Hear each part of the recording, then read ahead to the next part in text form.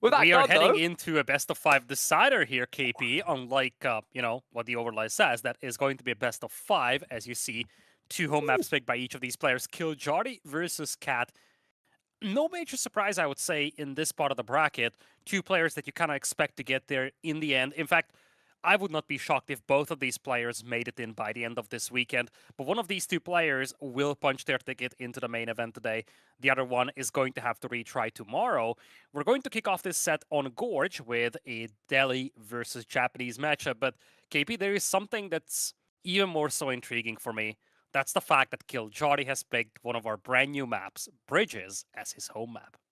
I'm excited for it. Uh, we'll talk about it if we get to it. It has some very interesting creative choices. Uh, actually, you know, two fifths of the maps in rotation are creations of Avli. I think that says everything. Maybe I don't know. I'm just gonna like spitball out there. Relic maybe hire this man. He clearly has some good ideas. That's all I'm gonna say.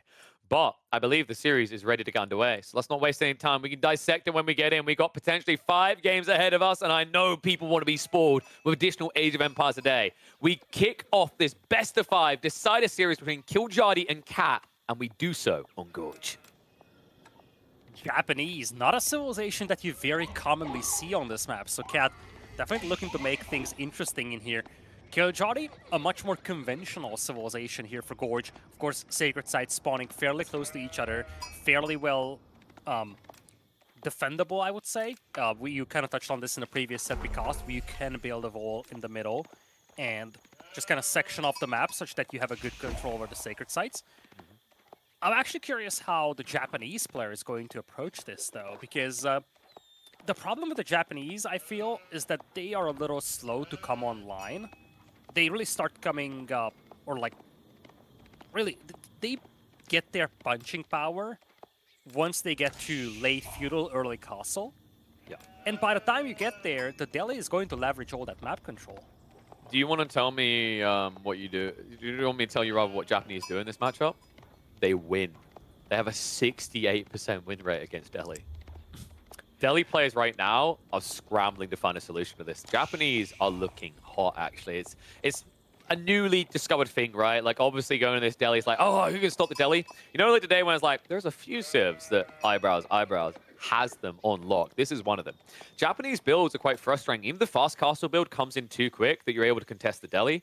And if it turns into a full feudal warfare, we've been seeing some very creative builds involving Mass Onna-Bugeisha and Mass Horseman with the Daimyo buff that actually slaps the Delhi out of the game. So Kiljardi's fully aware of this. Kiljardi's actually one of the players that has been experimenting quite a bit, actually. Um, he's even been doing some attempts at fast castle type builds with Dome of Faith. So don't be shocked or surprised if you don't see a Tower victory this game. Yeah, it's, it's an interesting point you bring up indeed, because we always uh, kind of touch on this fact that, you know, win rates are great, but apparently, well, obviously sample size is somewhat limited, especially when you look at high-level games, and you also have to consider what maps those uh, games have been played on. But indeed, there are ways that the Japanese can win this. I just feel like the problem that they face here, early on at least, is that the Delhi is the one civilization that comes online a little quicker. Kura Storehouse, love that um, landmark. It's going to be a nice and safe position, tucked away at the back as well. And of course, with the Kura Storehouse, you do get something that's fairly unique uh, amongst most civilizations for this map. Free farming on a map that doesn't have a lot of safe food to work with. Mm -hmm. And on top of that, because of where you plop it, you also get a free lumber camp. So it saves you 50 wood in the early game. Sounds like a nitpicky detail, but actually makes quite a big difference. Also saves you the extra idle time of building it up. And also the location you set it in means that all the farms that are spawned here will be protected. Long term in this game, he's going to miss out on a few farms, right? Um, but ultimately, they are all going to be safe, and that's going to be very frustrating for Kiljardi because you know you need to kind of chip away. Another thing that's quite awkward is that if you look, Cat got a decent spawn for gold gathering. It's retracted behind a tree line. You could basically just wall this in, which would shut down any Ghazi Raid plays early on, especially considering that that's the way the Delhi always open up, right? They might try to fill up archers, but the delay could be a little bit too much in this game. Yeah, I feel like one of the big things here with that Kura storehouse is, as you said, you miss out on a couple of farms with how it's positioned right next to the TC. But if the game goes long, it doesn't matter and more importantly, this matchup is probably not going to be decided uh, 30 minute plus onwards. this is going to be a matchup where either of these players will likely secure a win by minute 25. Yeah, and the interesting thing is it could be even sooner because obviously the way the Oh, Delhi yeah. play, but also the way Cat plays. I've watched a few of his games. Surprisingly aggressive player. Like Cat has found a new, new kind of path. It's interesting as well, actually, because his story with the expansion became quite grim, political. Um, Cat kicked off his ranked experience this season by losing all 10 games and ranking gold. He climbed his way all the way out of the gutter, eventually to get back up to the tippity top where he belongs. Because what I've been seeing in the last few competitive series and a few different tournaments from him has been really impressive. Yeah, he is a member of the 3D clan, which is, I guess, one of the more prominent clans when you look at competitive AoE 4. Of course, um, the star player of the team B, but also Garneth, we've seen a lot. Cat is there as well. So a lot of talented players in this top 20 that will be um, very much competitive in this tournament. Yeah, and I feel like he's been the one that's maybe I don't know, maybe it's like the inactivity or whatever, but kind of felt like he done himself a disservice and people done him a disservice, and that everyone looks at B and everyone looks at Gunnoff, aka Mikos, but also a lot of people are now looking at Anatan. Feels like Cat usually is you know the the cool guy behind the scenes doing a lot of cool things but not getting enough recognition. I think this is a prime opportunity to flex why he's so talented, considering he's up against one of the players that I've pegged as one of my breakout stars of 2024. Kiljardi has looked phenomenal. I mean, this guy, similar to Cat's recent experience, long-term Kiljardi had kind of a memeful origin. This is a guy that was known to be a, a one-pump jump who went for a Dark Age Rax opening and always played the English, right? He has flourished as a player in the last year. I'm glad to see the Finns getting some representation, because ever since Serral went back to StarCraft, we've been feeling a little bit light there.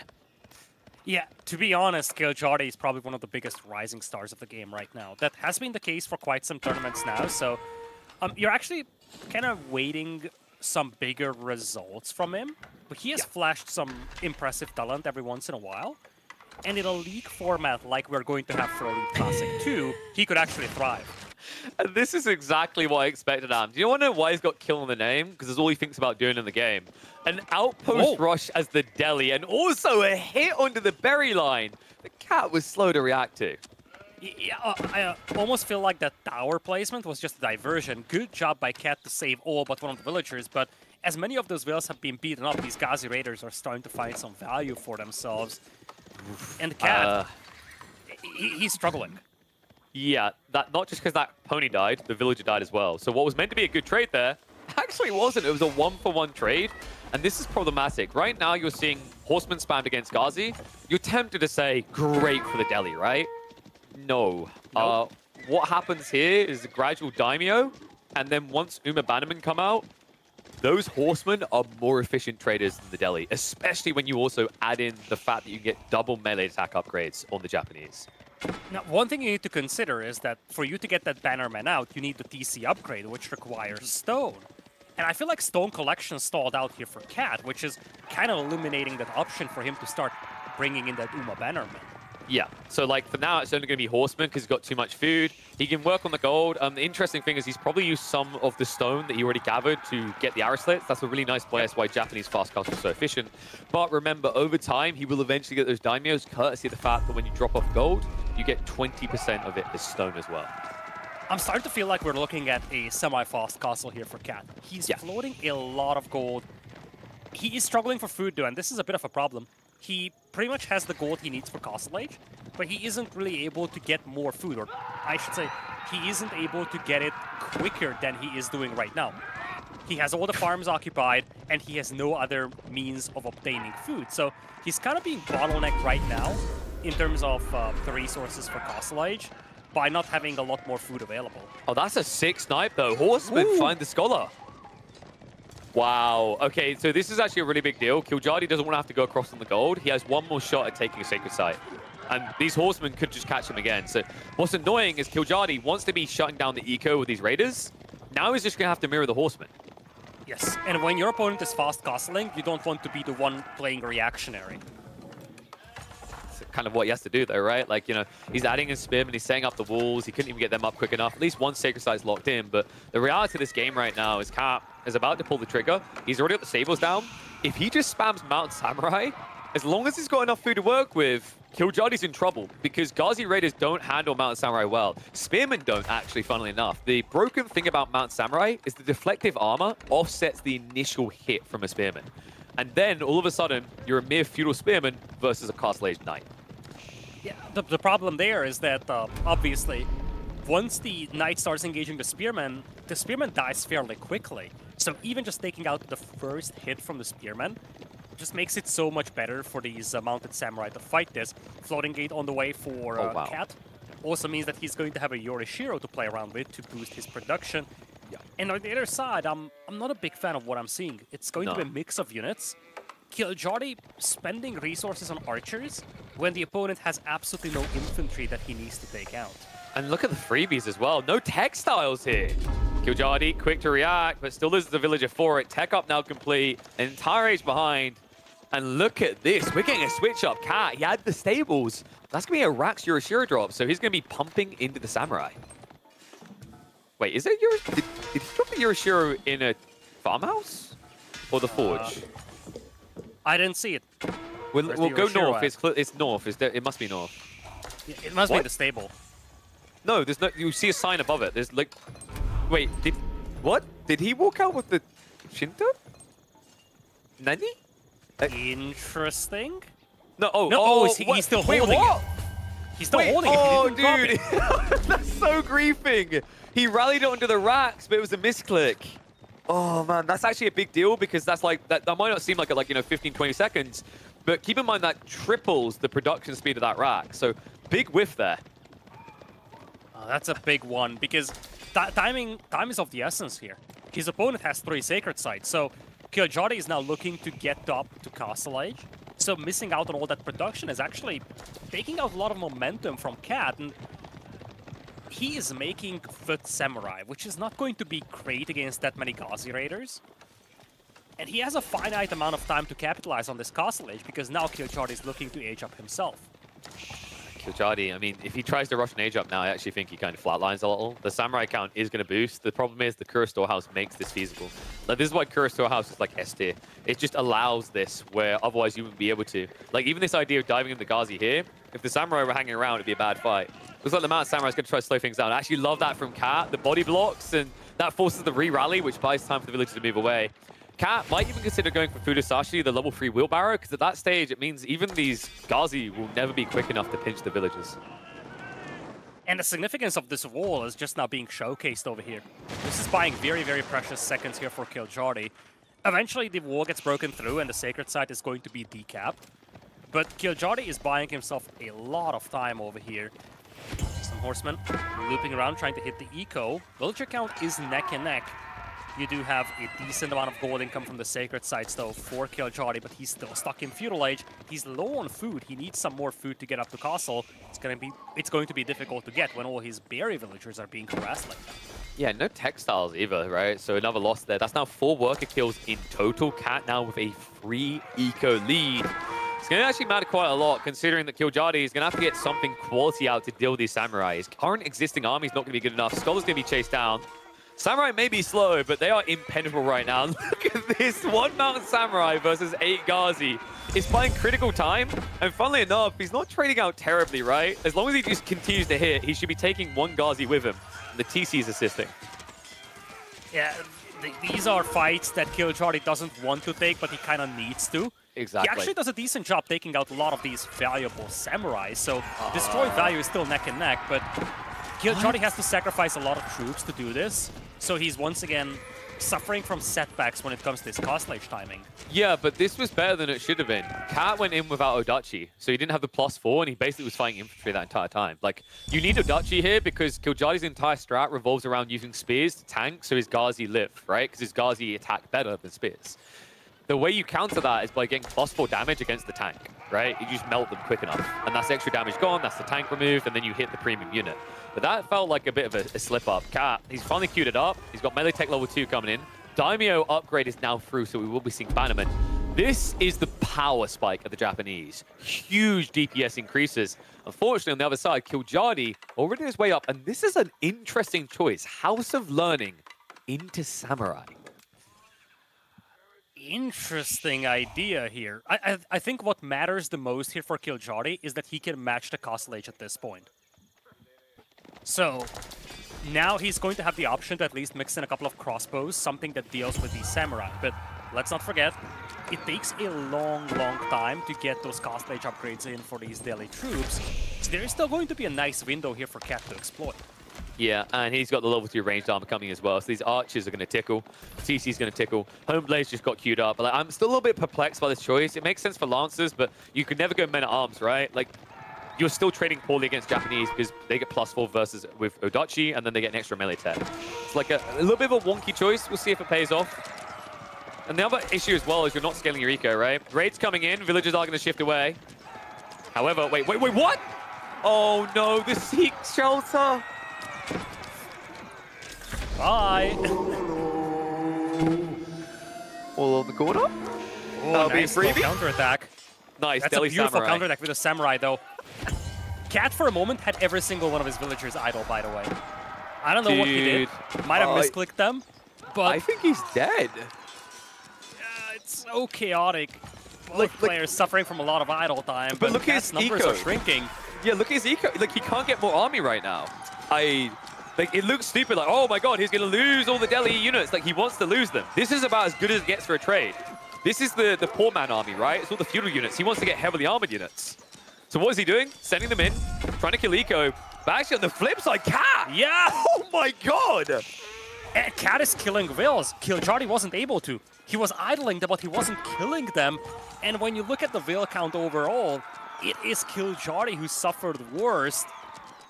I can't believe that. I, I, I Crazy like, idle time on both sides, but when you look at the overall numbers, it's looking a lot better for Kill or for uh, for Cat actually. Wait, can we check? Can we textiles check? Right, because I'm, I'm a stickler for this. Cat has textiles, doesn't he?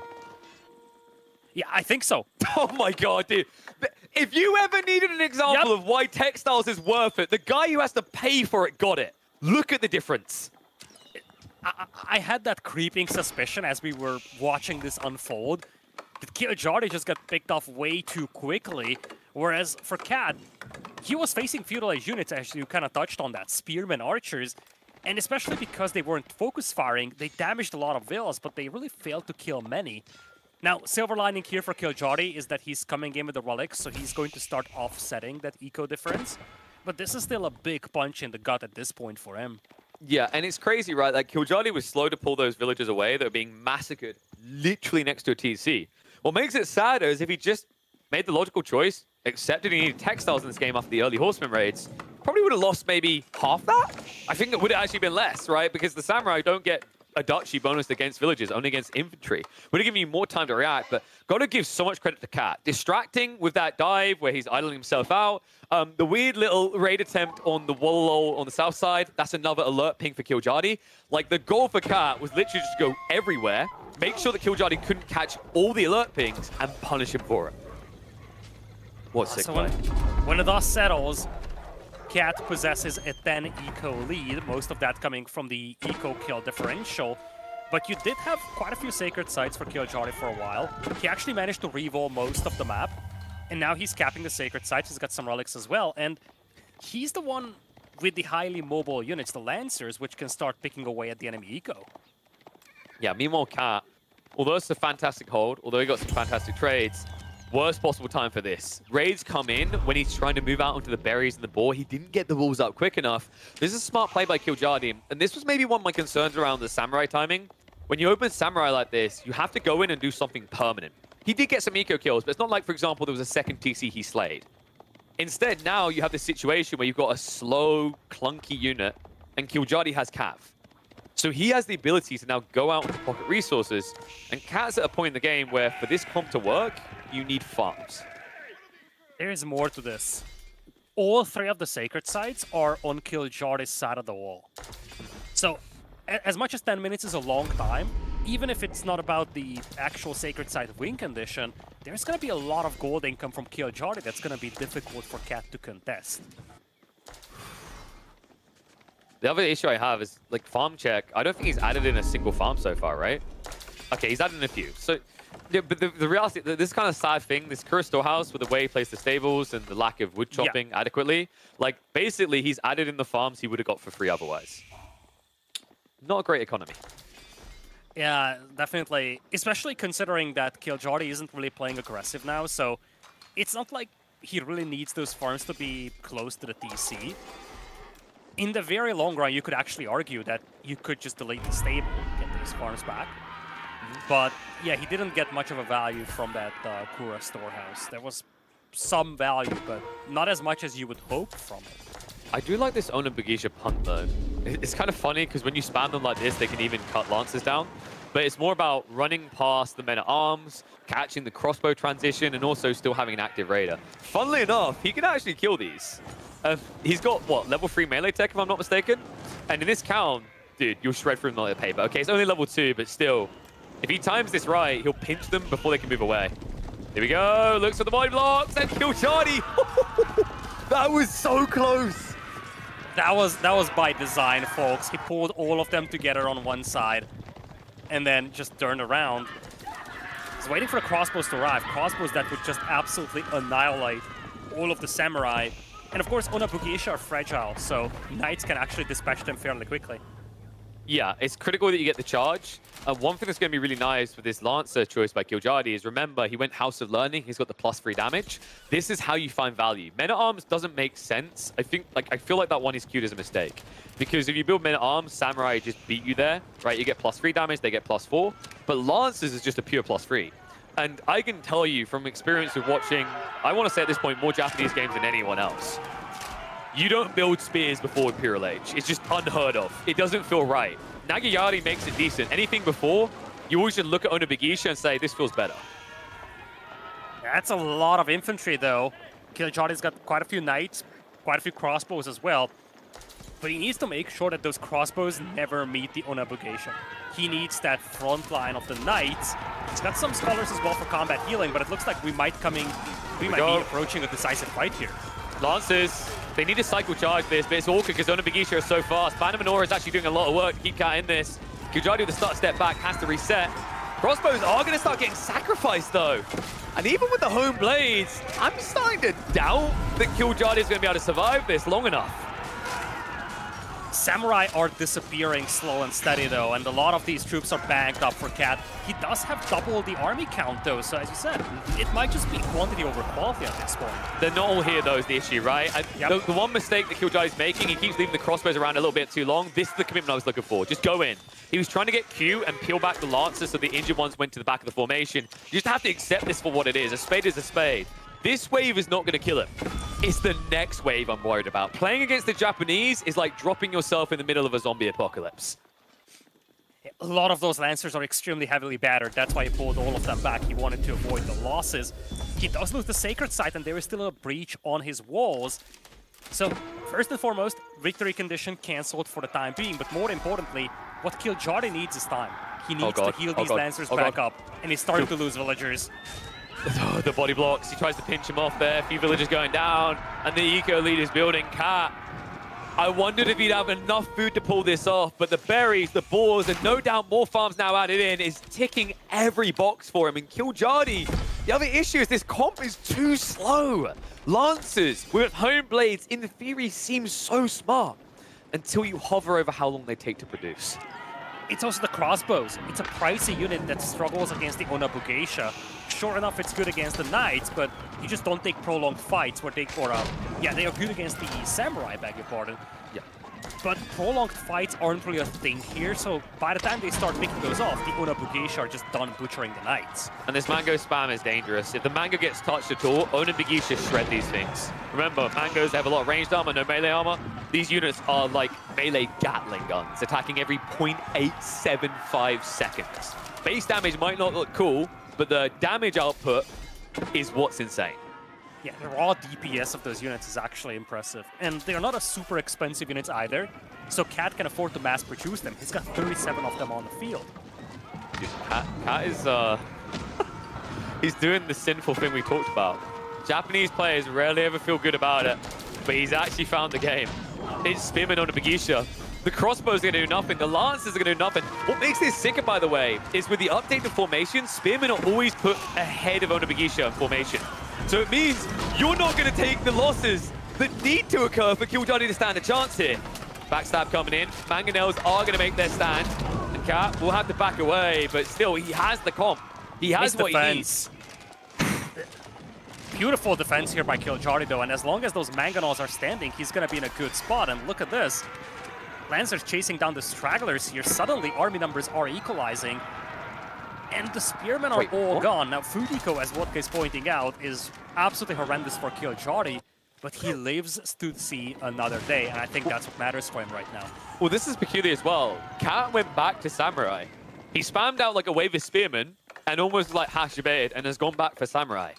I think that's because he's seeing the lack of food access and he's like, there's only this many lances, you can't get more, right? Like, it's kind of a smart play, but I think that gap in non-stop push kind of stung him a little bit. It's also probably because he has too much gold. Like, you're seeing this constantly, right? Like, food is the thing running out. This is going to be a big booster, though. Daimyo level 2 is on the way. That's a 25% gathering speed buff to all the farms in Radius. And also, dude, that might only be 200 Bagisha, but with how fast they slap, that could be a heavy hit to kill Jardy's Eco. Killjoty does finish the keep in the middle, though. Critical point, especially because he needs those sacred sites still. He has zero sacred site control right now, and his keep is going to help solidify his control over the middle part of the map. Still, his access to food is horrendous, and he is going to have to make a farm transition, something that Cat has already done. And also remember, this is not Compound of the Defender. So that castle Yes. isn't a TC. We're not seeing an eco escalation now for Kiljardi. He's one TC. He hasn't even queued up fortresses, right? So Yes. that's awkward. On top of that, Cat's made it even more ugly for him. Because you want to know why Cat slowed down? He went for a second TC.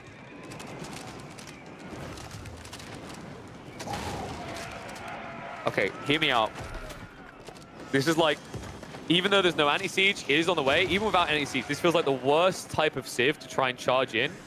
Like, I can't think of any other Civ that could not have cavalry, not have anti-siege, and yet I still not advise going towards them with mangonels.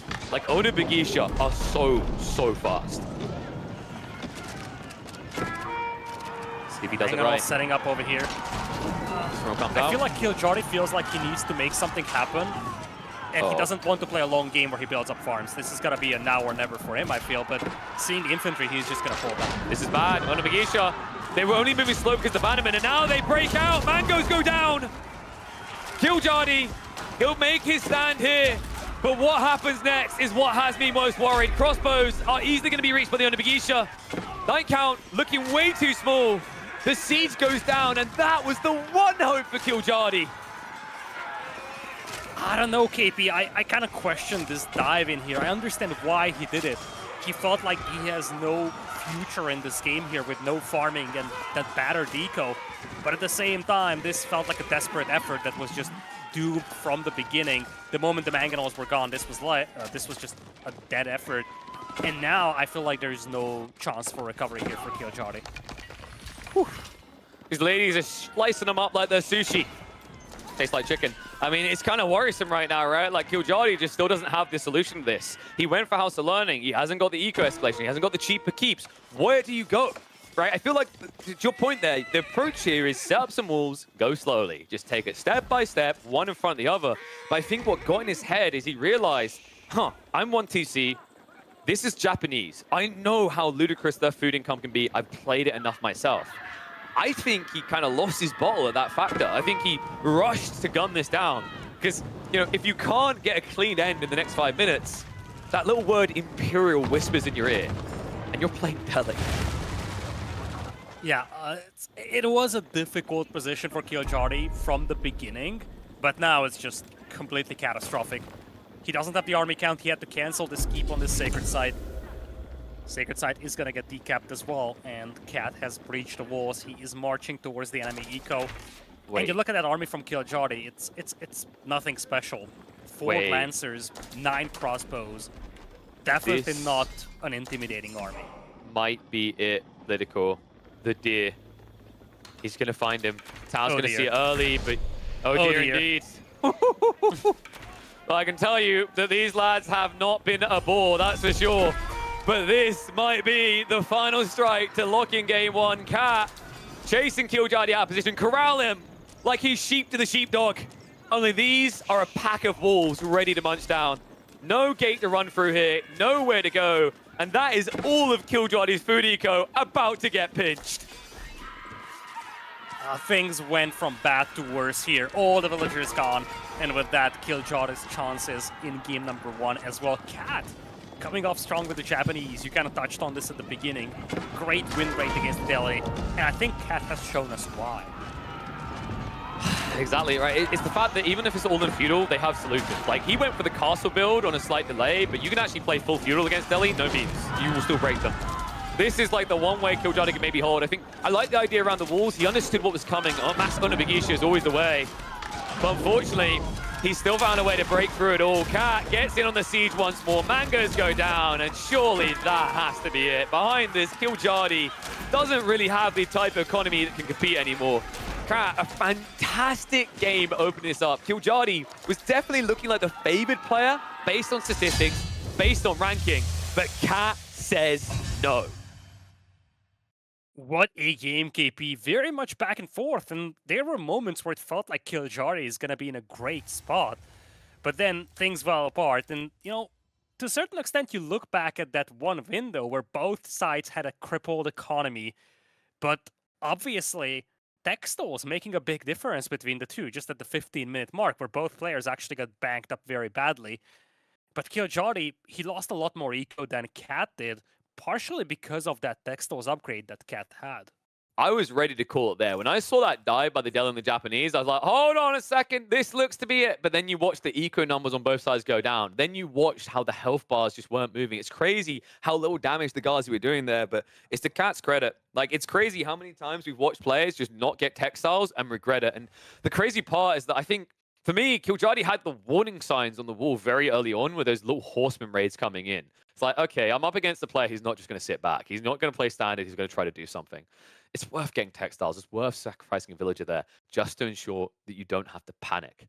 Unfortunately, once the panic set in, Cat was like a dog with a bone, weirdly enough, there. Uh, would not let go. Gets the opening game and gets us ready for game number two. We've got an Abbasid versus Malian matchup. You know, Ooh. Abbasid's looking a bit trash, but I don't I don't necessarily mind their chances here. But I think they have to find a way of being aggressive. Otherwise, Cat might just remind us how broken Malians are in competitive. I feel like the issue that Kiljardi is facing over here is that ordinary Abbasid gameplay isn't going to win you this game. Yeah. You don't want to sit back and focus on the eco because if you do that, so will the Malians, and the Malians will just eat you alive in Castle Age. Mm-hmm. So Kiljardi will need to play a very unorthodox game over here, and I'm a little concerned about that, to be honest. As a side note, Kiljardi opted to play one of his opponent's home maps over here, Dry Arabia, going into game number two, as we'll be taking a look at a Malians versus Abbasids game. KP, I think it's time, and this is a good setup for Cat, I feel. Exactly that. Like Cat, he's got to be feeling confident after the first game. Malians in his hands, a strong Civ. I'd say like top six at least. eh, I'd say in most people's rankings. Other side of it, Kiljardi, he Civ's a bit of a question mark. Historically, up against the Malians, they do fare reasonably well, but has to be said, Abbasids have been looking more bad than good at the moment. Hopefully Kiljardi can solve that. If there's any player that can provide the level of aggression required to shut down Cat, it would be Kiljardi. We saw him attempt it in game one, but fantastic counter defense by Cat. But one thing that you always have to keep your eye on, no matter what Civ's in his hand, Kiljardi is not a player that is willing to just sit back and chill. Oh, certainly. It's just the big question is what you do with the Abbasids to be aggressive. It's probably one of the most challenging civilizations to be aggressive with long term. Sure enough, you can open a military wing, get some spearmen, get some uh, archers on the uh, on the board. But Abbasids are just not known for being a civilization that can sustain a lot of early game aggression. I think this is one of the matchups where I actually like Eco Wing. Because, like, if you go Millie Wing, you're forcing them to build a Javelin, and they're kind of okay with that, right? And one Javelin can just kill off the four units, so it's kind of like, eh. He built a building that he probably was okay with building anyways, the Malians. But if you go Eco Wings, like, typically Malian players are greedy son of a guns. They don't tend to just open with units and run out onto the battlefield, right? They kind of chill a little bit more. Um, it's all about scout timings, though. Like, Kiljardi, if he can read this right so that the Malian scout is on the other side of the map when he's stacking up, he actually might get the type of advantage that stops any sort of blocker. But it really comes down to where the rotations are happening. And the reason I highlight that is even though Cat's a very talented player who'll know the timings, I always find these berry sieves throw you off in that regard. And you can see why. Like, he's literally covered two-thirds of the map on his rotation initially before going back. Yeah, I'm deep into thinking when it comes to how an Abbasid player could play this aggressive. I think if you open Horseman, you can start torching down pit mines, and oftentimes that forces the uh, Malian player to invest into army a little sooner than what they would want to. In our case, that would be Donsos. And I think that's probably the best way for Kiljardi to open this. He is opening Military Wing, but I don't think that two Spearmen and two Archers will be enough. Two Javelin Throwers will be more than enough to clean that up.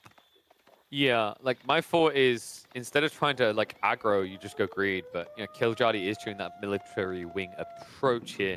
Um, looking at the golds, I guess that actually gives some inspiration for it as well. Cat only has one safe gold. This spawn's kind of split. And if you just take a look north, you can actually see that secondary gold and, and third are really far away. That's usually a negative because it means, like, for example, at Bassids, one of the popular plays for a full feudal is to go mass horseman. So you play like mass horseman spears or mass horseman archers. You can try and cut between these, and it strips the Malians of one of their strongest points, which is using their buildings to defend. It, it could be an option. For now, it's going to be Mansa Quarry on the side of Cat. No surprise on that front. One thing I'm looking at here, KP, is that probably the most legitimate secondary pit mine for Cat is going to be the one that's tucked away behind this wood line, the one that Kiljardi is just now passing. The other alternative is just so open in the middle of the map that it's near impossible to defend yeah, it, it's actually just a death sentence if you try to play for that. It's kind of wild, actually, how split those look. Like, I think that that goal behind the trees is meant to be a bit close to the base, but the tree lines pushed him away. Like, typically, you don't get three tree lines like this. You get another one on the opposite side of your base, right? Um, but I've been noticing more frequently with Dry Arabia, especially at the moment, you get these very kind of out there spawns, I want to say, where it does leave you a bit more exposed. Like, you can even see it for Kiljardi. The south side of his base is a barren wasteland. Through that, uh, it's just there's just not much over there. Hmm. Now, Spearman Archers heading around. Looks like just from the angle of approach, they weren't heading towards the gold mine up until now. They probably will be contesting that. The Scout of Cat is just now passing the um, School of Learning, or House of Learning. He sees the military wing, so he knows that there is a group of spearmen and archers heading his way. So I would expect him to drop a range and start getting some javelin throwers out. He also spots Did his stone mine, so now he knows that Kiljardi will play multiple town centers. Did he actually see the stables, though? I think he just clipped it. That's really important. Yeah, because that, that's, that's smart by Kiljardi. The 1-1-1 approach here, like obviously didn't have the production buildings yet, but having archer, spear, horseman is meant to shut down the mine because your opening of javelins can't do anything. But Cat, he should quickly look to drop Donsos. He's got 300 wood. He's definitely got what he needs. Typically, if you don't scout that play, what a lot of Malian players will do instead is they will literally just choose to build a ranch. And we have got a ram play on the way. I love this. Uh, it goes back to our discussion of how you play aggressive at Abbasids. And I feel like it's almost an all-in style approach when you invest into Rams so early until you realize that uh, there was a bigger discount on the Rams and you're still playing two TCs as Kiljardi. This puts a massive strain on his economy. But the thing I love about it is that it takes too much time to torch down these buildings. And when you combine this with Horsemen, it makes it very difficult for Cat to hold. He cannot just sit back with those long-range javelin throwers to pick away at the infantry, because he's gonna get pushed by the Horsemen. And at the same time, if he doesn't fight, he's going to start losing the houses in the pit mine. Litter, it's so much more than that. This ram uh, I, I, coined the term clown carring quite some time ago. And no one... Yeah, like, I hate that term, just so you know. Well, it's going nowhere, mate, because this is the clown car strat. He's built javelins. How do you prob like how do you solve this problem? You have to send in melee. Come close, please. Come closer. Like, and, and then you know, this the one Donso's hesitate is like, okay, come closer. Surprise. Like, watch what happens here. Gets in range. Kiljardi, come on, do it. Spring the trap. There we go. Immediately. okay, that was the worst place to do that move. Horsemen are going to arrive as well, though. So one Donso goes down. Just as another one's arriving. Javelins have to back away from this. And then you just run back over and hop in the clown car. The angle from which Kiljardi is attacking is also important. He's trying to pull away these javelin throwers as far away from the TC as possible to make sure he can take him out, and it looks like Cat is just diving into this one. He's willing to sacrifice his forces. He is going to lose the pit mine, though. It looks like he might have just enough to clean this one up. Oh man, the ram not being pulled back is problematic there. I mean, the pit mine goes down, sure, but like you could have maybe kept that alive longer. The question mark now is, was Kiljardi's clown car good enough? He no. killed a few units. He did get a TC. I would say this wasn't actually too bad. Like, the military wing units kind of done what they needed to. Is a very creative build. I was worried he hadn't gathered enough stone yet. But now, Cat, he finds himself in an awkward predicament where he doesn't quite know yet is there more coming, right? So he has to build some extra units in case Kiljardi is going to double down. I actually feel different from you when it comes to the value of this bush. There was a trade on both sides. You look at the destroyed value, it's actually better for Cat. Kiljardi took out the pit mine, but it was rebuilt instantly. He had to invest into a ram. He had to invest into a stable and some horsemen as well. When the dust settles, you look at Cat, who still has a good villager count. He's got two pit mines, and he already has a couple of uh, couple of cattle working as passive source of um, additional food. Of course, there could be a second wave coming, something that Cat scouts, but it's only three horsemen for the time being. And I feel like we're entering the stage where both players will start focusing on the economy, which usually starts to play out better for uh, the Malians once you get to mid, um, mid-late feudal age, early castle age. Yeah, so here's the interesting thing though. The Archer Horseman comp, Kaz not, like, I think he's being a bit frugal with his unit production here, right? He's focusing greed a little bit more.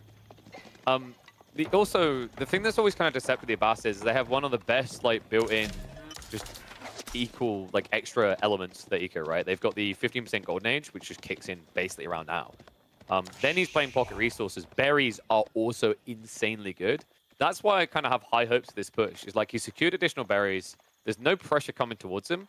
Yes, the ranches are strong, but like with 2TC plus the fact it's berry golden age, I think that's what can actually give the Abbasses an edge here. In fact, you're kind of already seeing it in the food. Yeah, I'm actually wondering if we're going to see um, Cat going more on the old school side of things. And instead of using the Grand Fulani Corral, he's just going to go for the alternative option, be extremely heavy on gold, play a semi-fast castle, and then just spam out those units with a gold cost. Usually what that does is that it eliminates the need to build up that food eco in Feudal Age and gives you a much better cost age timing and I think that timing could be devastating against Kiljardi, because right now, I feel like Cat is taking his time building up that food eco, but as you kind of touched on this, given time, Kiljardi's eco is also going to be pretty good. Yeah, and like you've already got horticulture coming on the way, right? We haven't got that for Cat. That food number is going to get bigger. The berries are going to last a while. He's already moved to the south side as well for the eight stack. He could even shift the deer north of his woodline because like the reality is Cat, although he's starting to move out with an army a bit, he's going a bit harder to the Donsos, and the archers haven't been sprung yet. My worry is Cat's going to get a bit too close to this base, and it's going to be like Icarus flying close to the sun.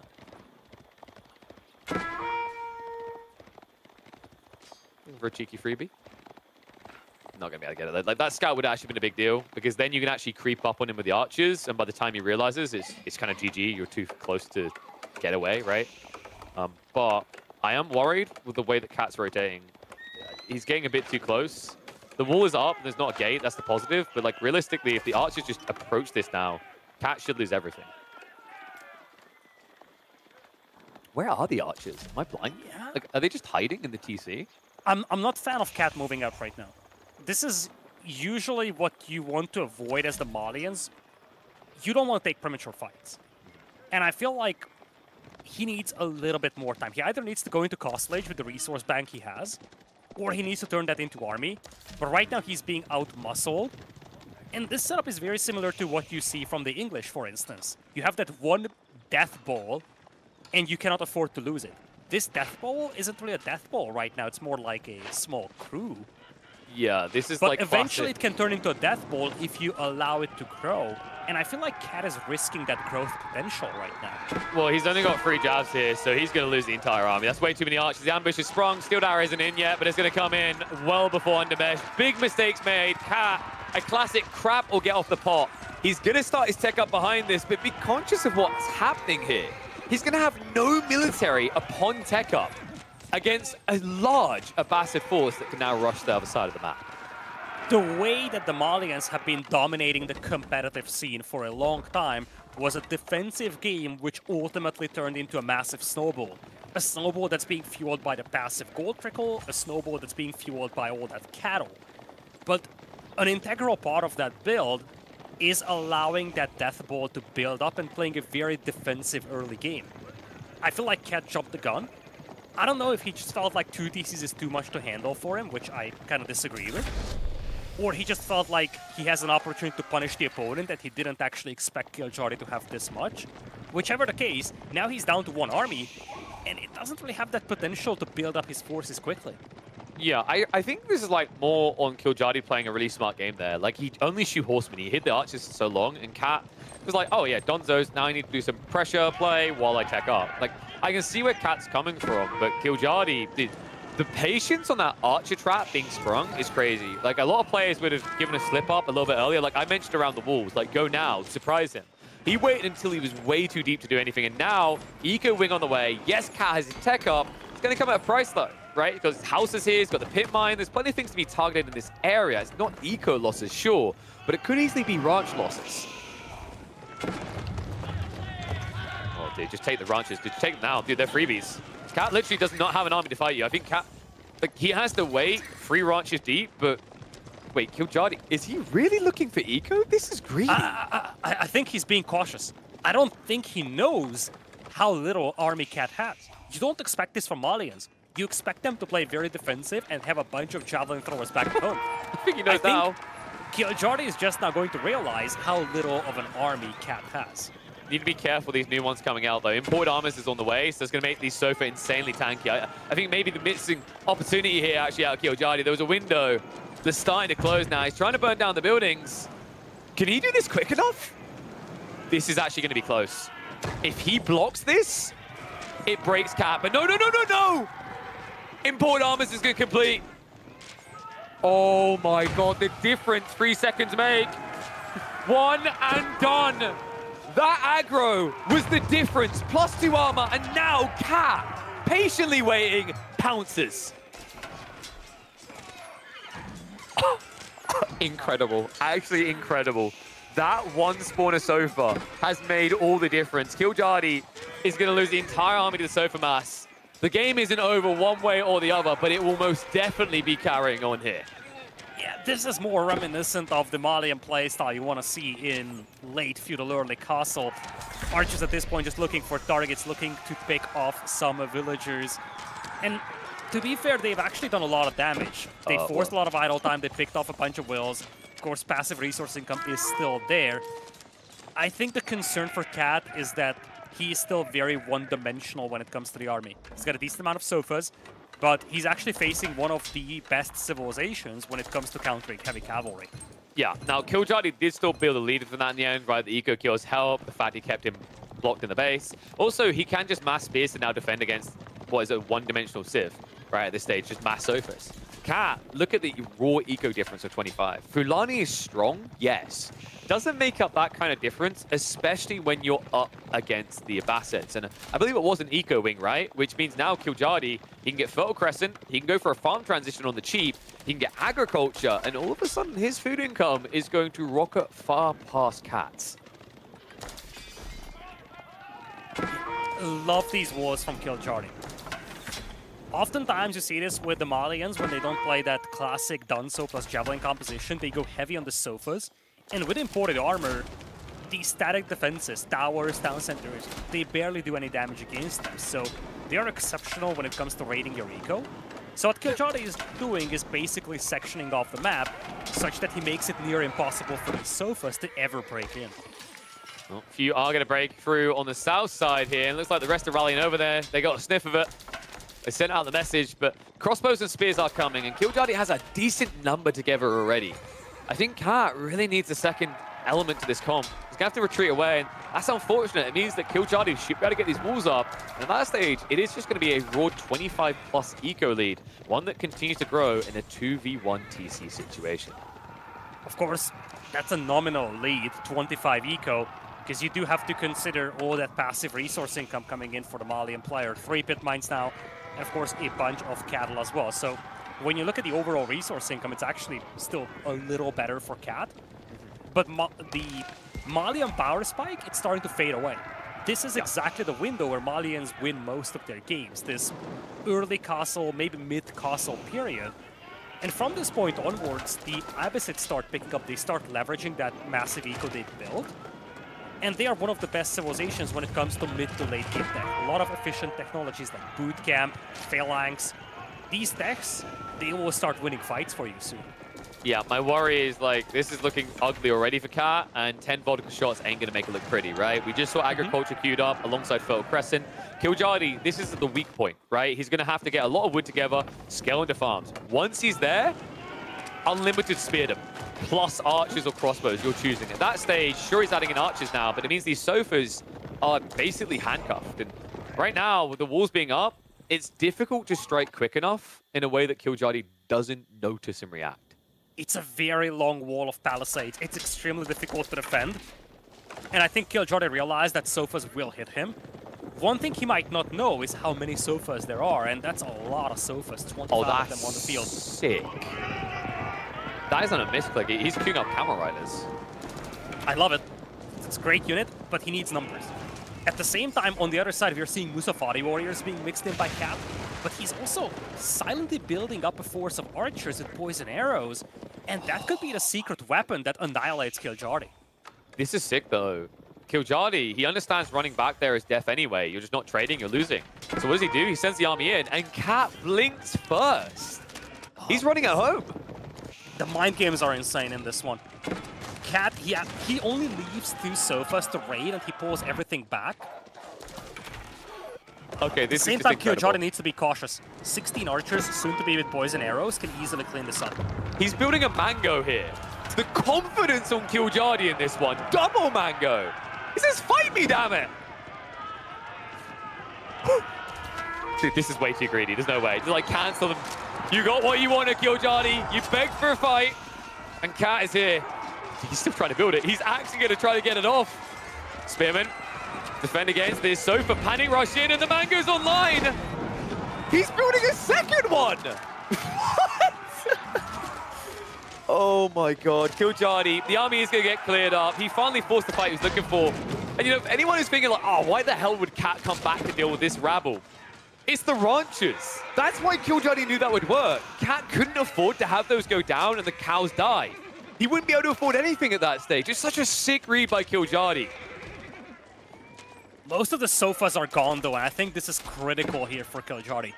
He is going to get cleaned up, which is a painful loss, but in exchange, he took out all but a handful of those sofas. Now he's facing a lot of poison arrow archers, but one thing that these archers are bad against is mass Abbasid archers, something that Kiljardi is working towards. You know what's funny? Like, he can just beat this whole army by building spears and archers uh, because the spears are actually really good against Musofadi. Like, really, really good. Because more of them can attack you than vice versa. And Musofadi, although cheaper, like, spearmen are about as cheap as they come. Add in boot camp as well, and it's like a brain-dead comp that's very simple. Because it's so cheap, that means you can also afford these mangonels that destroy Cat. A lot of Musofadi warriors out there, though. 20 on the field, and they can go into stealth mode. We've seen this KP in some competitive games before. Stealth mode Musofadi warriors jumping the siege before the archers engage. Don't sleep on that here for Cat. Literally, it's gonna happen again. Cat's moving for a raid. He's gonna have to turn around to defend. Mangoes are coming in. No, come on, Cat. This, this time it actually is the right call. You can't go for a trade. Yeah, he doesn't need to. This time around, his army is much more substantial. Yeah, gonna try to break through the walls. Mango boys are moving in. If they hit that wood line, quick pull away just knock. in time by Cat. Oh, they don't see the villagers. You can still oh, the blind fire! Oh my god, that was way too close. ground attack can be devastating in positions like that. We're still going to send a few in onto the pit mine location. Swim across Moon. This is an expensive army if it gets hit from the back. And he is actually kind of abandoning the Mangonels with the dive through here, looking for the villagers. Cat. Sofas are coming back. something. They're looking for the loop around. Safadi. Pretty funny there. Nice little dodge away with the extra movement speed. Springald does come out, but guys, Springalds don't win this. If the Mango just touches them once, Archer being pushed away. Spearman Archers are going to engage. Musofadi will now look to just leak around the back, so they will eventually clear up this siege. But still, even with an army loss like this, behind this, Kiljardi is so far ahead. 35 eco units. Look at the raw food count. Egypt just keeps sending wave after wave of troops to take the fight to the enemy, and he keeps getting cleaned up. But while doing so, he's taking good fights, and I think that's what matters, KP. You look at the destroyed value, it's kind of neck and neck. It's not like he is getting cleaned up in a decisive fashion. Every single one of these fights, he takes a lot of enemies with him. And at the end of the day, especially given that he managed to kill quite a few villagers, now he's got double the villager count, a fortified base, the relics advantage, and a full farm transition complete. 50 villagers difference, even those uh, pit mines and the cattle cannot offset. It's just absurd. It's kind of like Kiljardi just like going, oh yeah, look how much economy I've got. Just, just to let you know, like, you want a GG yet? No, okay, I'll send the next wave. You know, it's like Cat right now wishes he had Jeanne d'Arc, so at least he was getting levels out of this, because it's the only upside he'd have right now. Despite the fact he's got a bigger army, that's not going to last long. It's not going to stand the test of time. The crazy part about Fulani is it has a cap, it has a threshold. And Malians, they've reached that. Yeah, we talked about this, KP. I think the window is closing rapidly for the Malians now that the Abbasid Eco is online. Army count is still in the favor of Cat, and he's got 19 sofas. But now he's facing an increasing amount of well-upgraded spearmen and a lot of siege that he doesn't really have tools to deal with. As I'm saying that, Springalds are rolling in. They do get a couple of freebie hits on those Mangonels before Kiljardi pulls them back. Kiljardi might want to cancel that Springald. That's, there you go, buddy. Just in time. That's kind of expensive otherwise. This is a choke point, though. Kiljardi... He wants him. Dude, this is this is an overextension right now. This is an overextension. He's going to dive in. Uh, backs away just in time. Mangoes didn't turn around, so it looks like it was a bait attempt by Cat, but Springalds, they're getting a bit too far forward. That was almost incredibly dicey. Two Mangoes and choke point pushed like that. Cat would lose half the army, so good time to back up. Good read by Kiljardi to use the territory. We're getting closer to an Imperial window here. He's about to be popped. He's got 2k food in reserve, and he has about what he needs in terms of gold. So Imperial should be ready to go by about 28 minutes for the Abbasids. Um, sooner.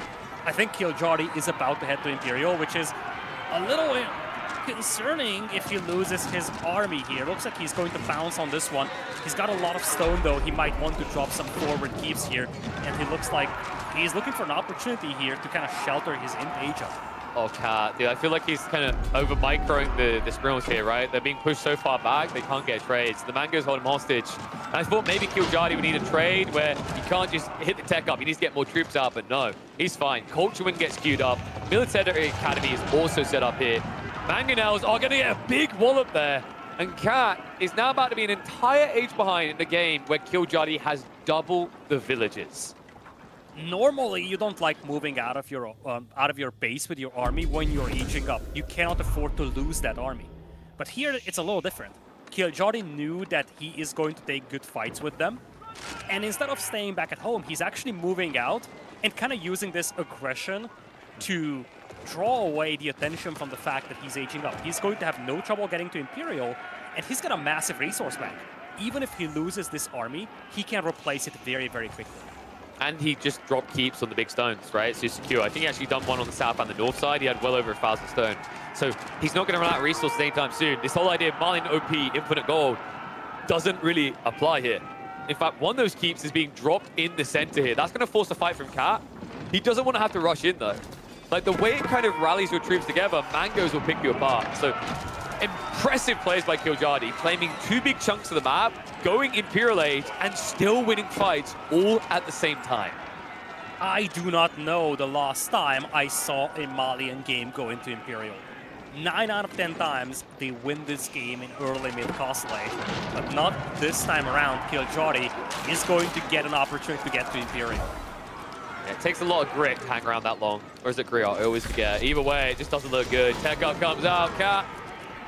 Now he has to take the fight. He has no choice. Like, your opponent just teched up. If you can't punish him, it's over. And sadly, you cannot punish him. This army is just better from Kiljardi.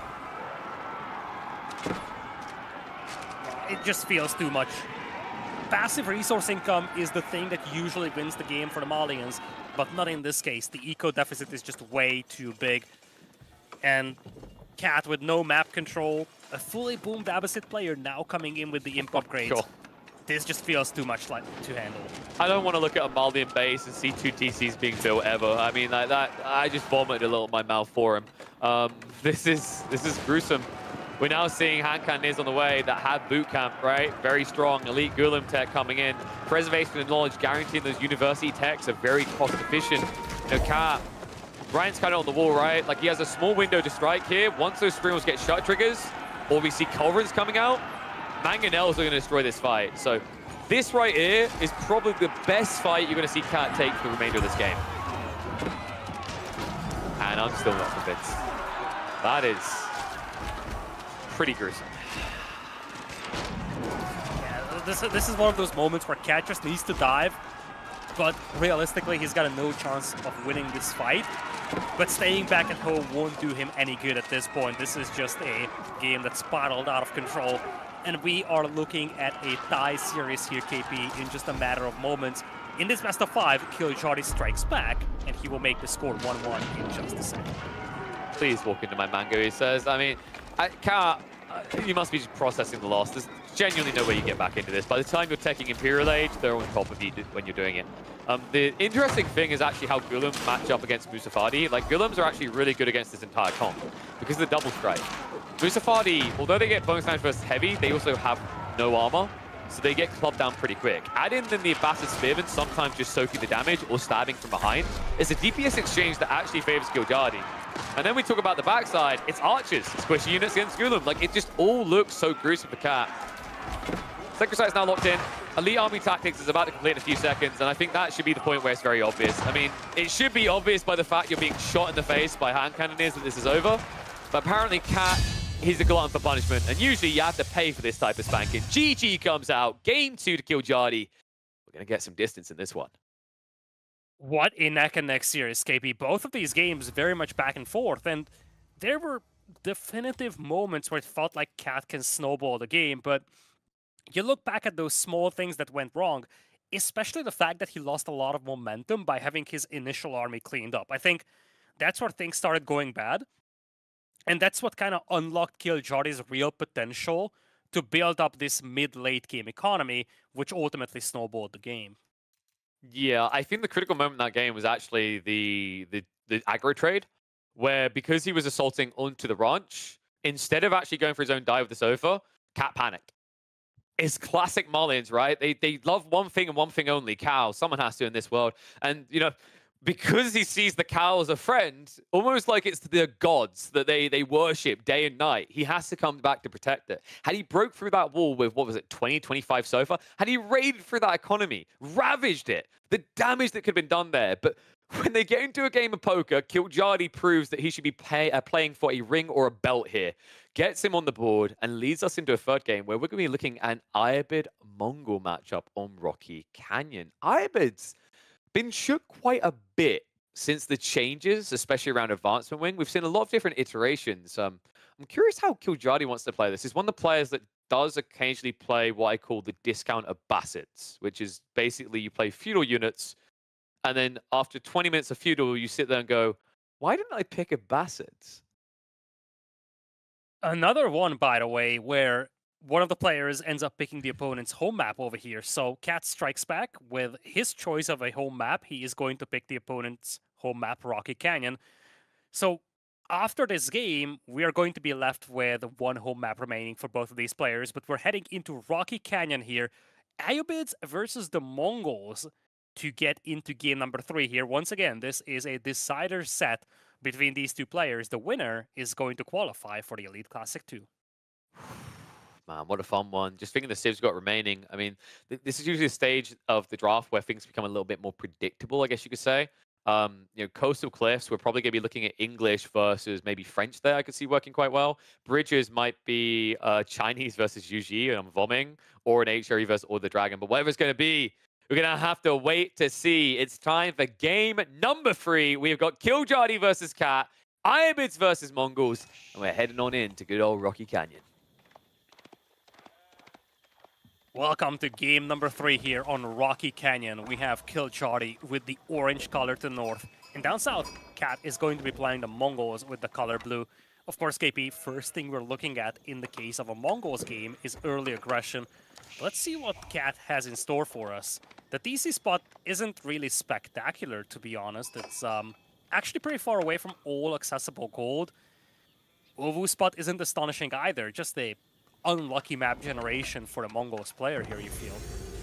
Plenty of wood. Uh, that's True. literally all I have positive to say about that. like, it is pretty bad. you always have that, right?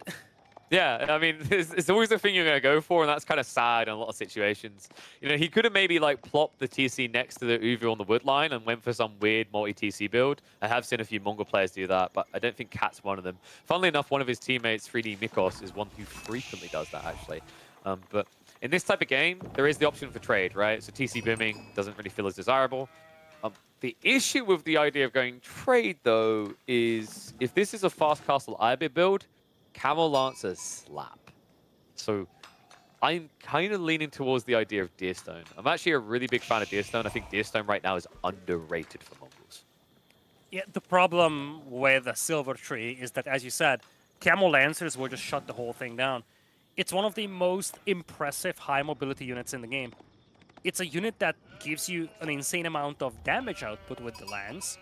It's also a unit with high mobility, but it's a unit that hard counters most highly mobile cavalry units, so it's extremely difficult to chase them down and get rid of them, which makes them an impressive raiding unit.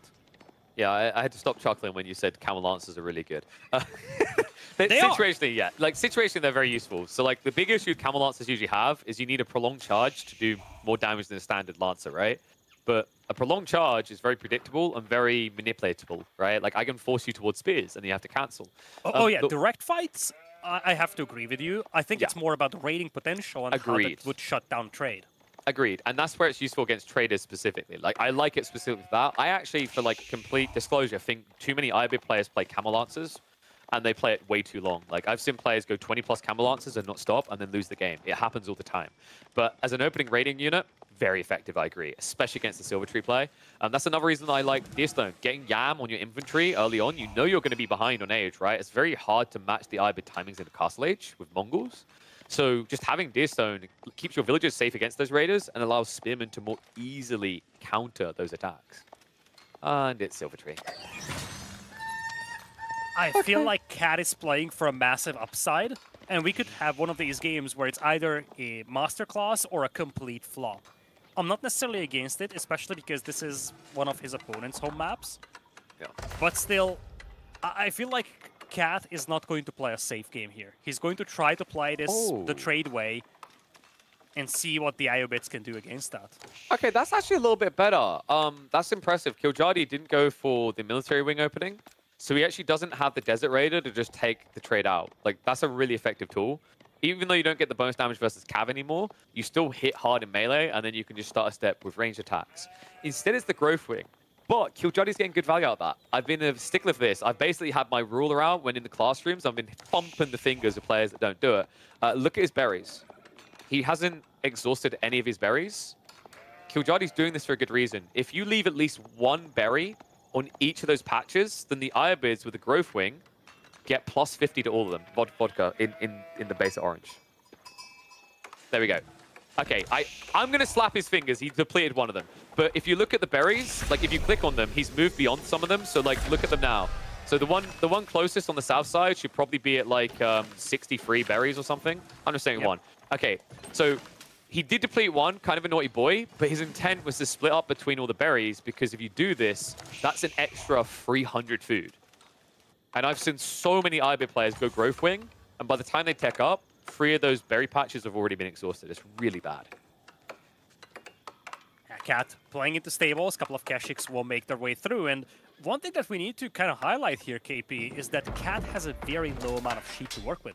He almost depleted the sheep under his town center, so he was actually forced to add a pasture right next to that Ovoo. Yeah, Killjoy went for a different build because he actually clubbed sheep himself, and that's why the berries lasted so long. Like, we were seeing him go late. Um, the interesting thing is if you do do that extra micro I was talked about, you can just have like six people on berries and not exhaust any of them. Um, but that's a that's a nice approach. Like I've noticed players struggle to keep up with that detail. It's easy to forget. So clubbing some sheep's not a bad idea considering you start with a few. And if you split your eco between the two, sure berries are better, but you guarantee the extra. And now we're entering the Keshik phase. This is pretty readable. I imagine Kiljardi scouted out that silver tree.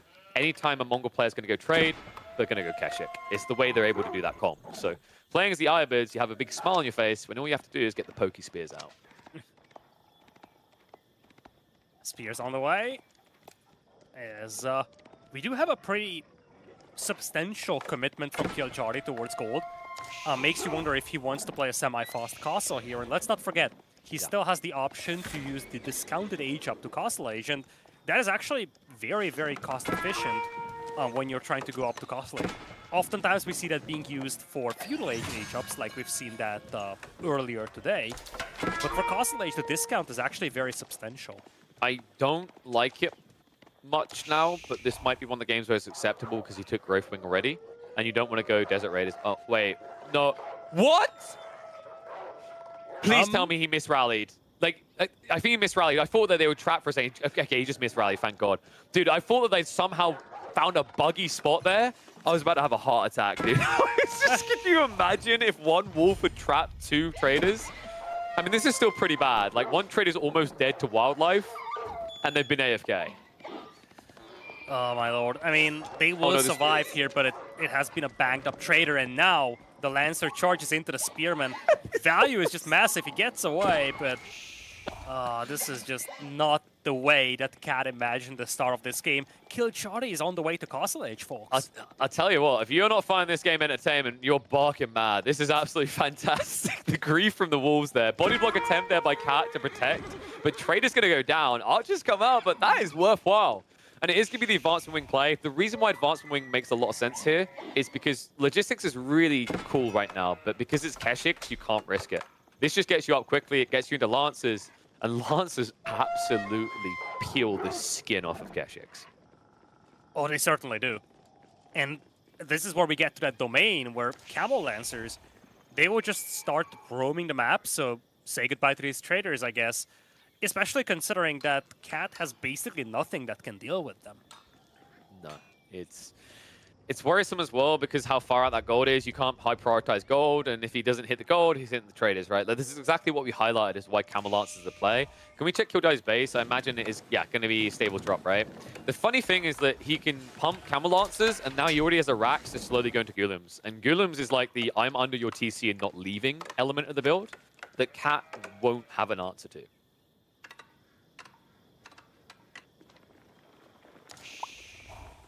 Oh, we might have our quickest game here, my friend. Um, yeah, this this feels um this feels bad for Cat. I feel like Ayyubids, it's not the most unprecedented civilization pick on this map ever, but it definitely feels like, to a certain extent, a counter pick to the Mongols.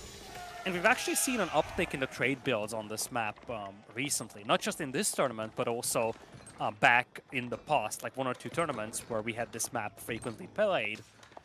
And I feel like in many ways, this build that we're seeing from Kiljardi over here is a great response to a trade build, especially a trade build from the Mongols.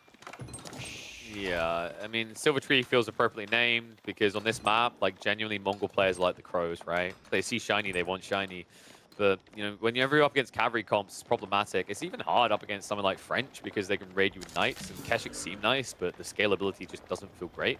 In this game, it's impossible now because the Lancers not only are Castle Age heavy cav. They also have the camel on these. So like, your only answer is spears, but you don't have yams, so you don't have mobility, and now you have to defend the entirety of the map. There's one yeah. thing Mongol players suck at doing, is defending.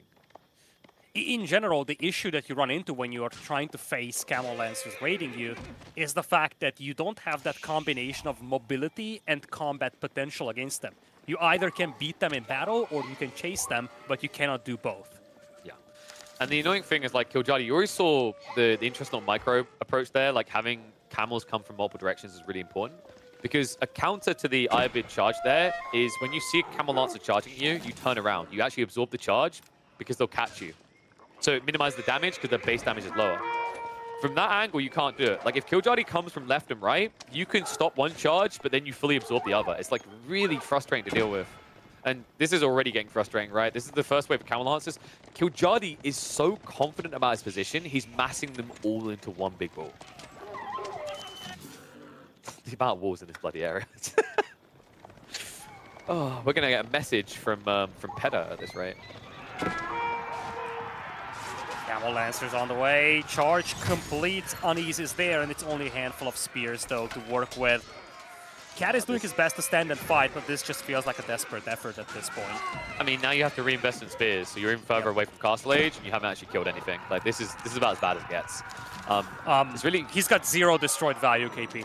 It's yeah. 1310 against zero. He hasn't killed a single unit this game. He won't kill a single unit. Like this outpost is going to go down before he can kill off one of the Camel Lancers. Uh, this is before Undermesh. Oh, he might get a kill. Hey, there we go. That's 200 of, actually that's infinite more destroyed value for Cat. He's got this in the back. No, I can't. I just, I can't.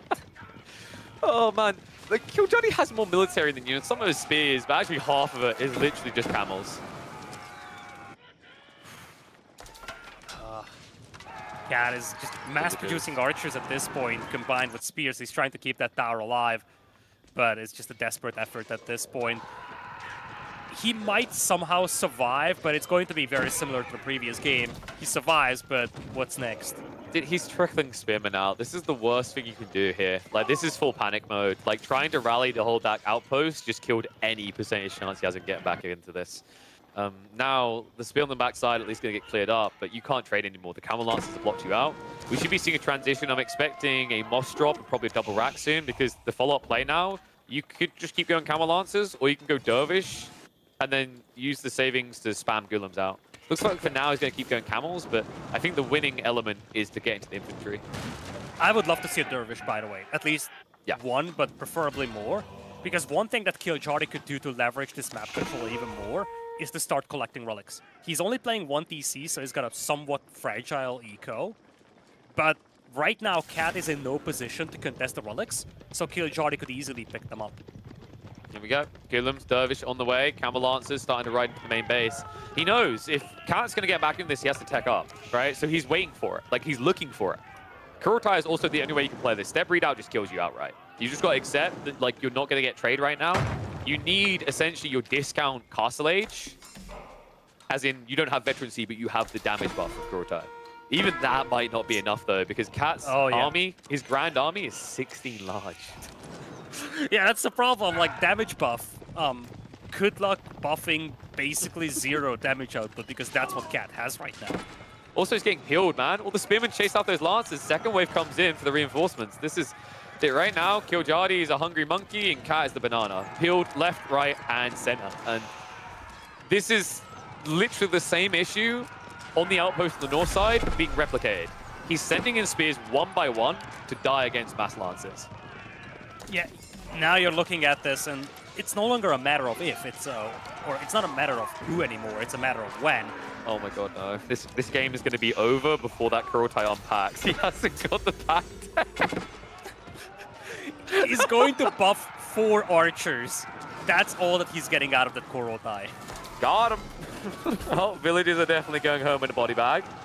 And Cat is, um, well, he's looking like he's drowning here, which as we know, cats don't like water. I think this is just one of those games you accept. It was classic Ibex. There's no coming back. He's now heavily behind on eco. Relics are being yoinked left, right, and center. There really is nothing for Cat in this game. Absolutely nothing. He's down by 14 eco. He's going to lose out on most of the relics. He's got no trade. His game plan has been completely shattered. And, uh, I mean, I, I, think it speaks for itself that he wasn't even able to replace the Ovoo that now got depleted, simply because his map control is a flat zero. I legit think Cat has been reading way too many anime uh, mangas. Like he's he's heard about those like hero stories. He's like episode one, then by episode twenty, he's like, wow, the comeback. That guy shouldn't have won. this is not one of those stories. I mean, Kiljardi I- is a very talented player. He's not gonna f- like the, the degree to which you'd have to throw this right now. I think you genuinely have to pick up your desktop and throw it out the window.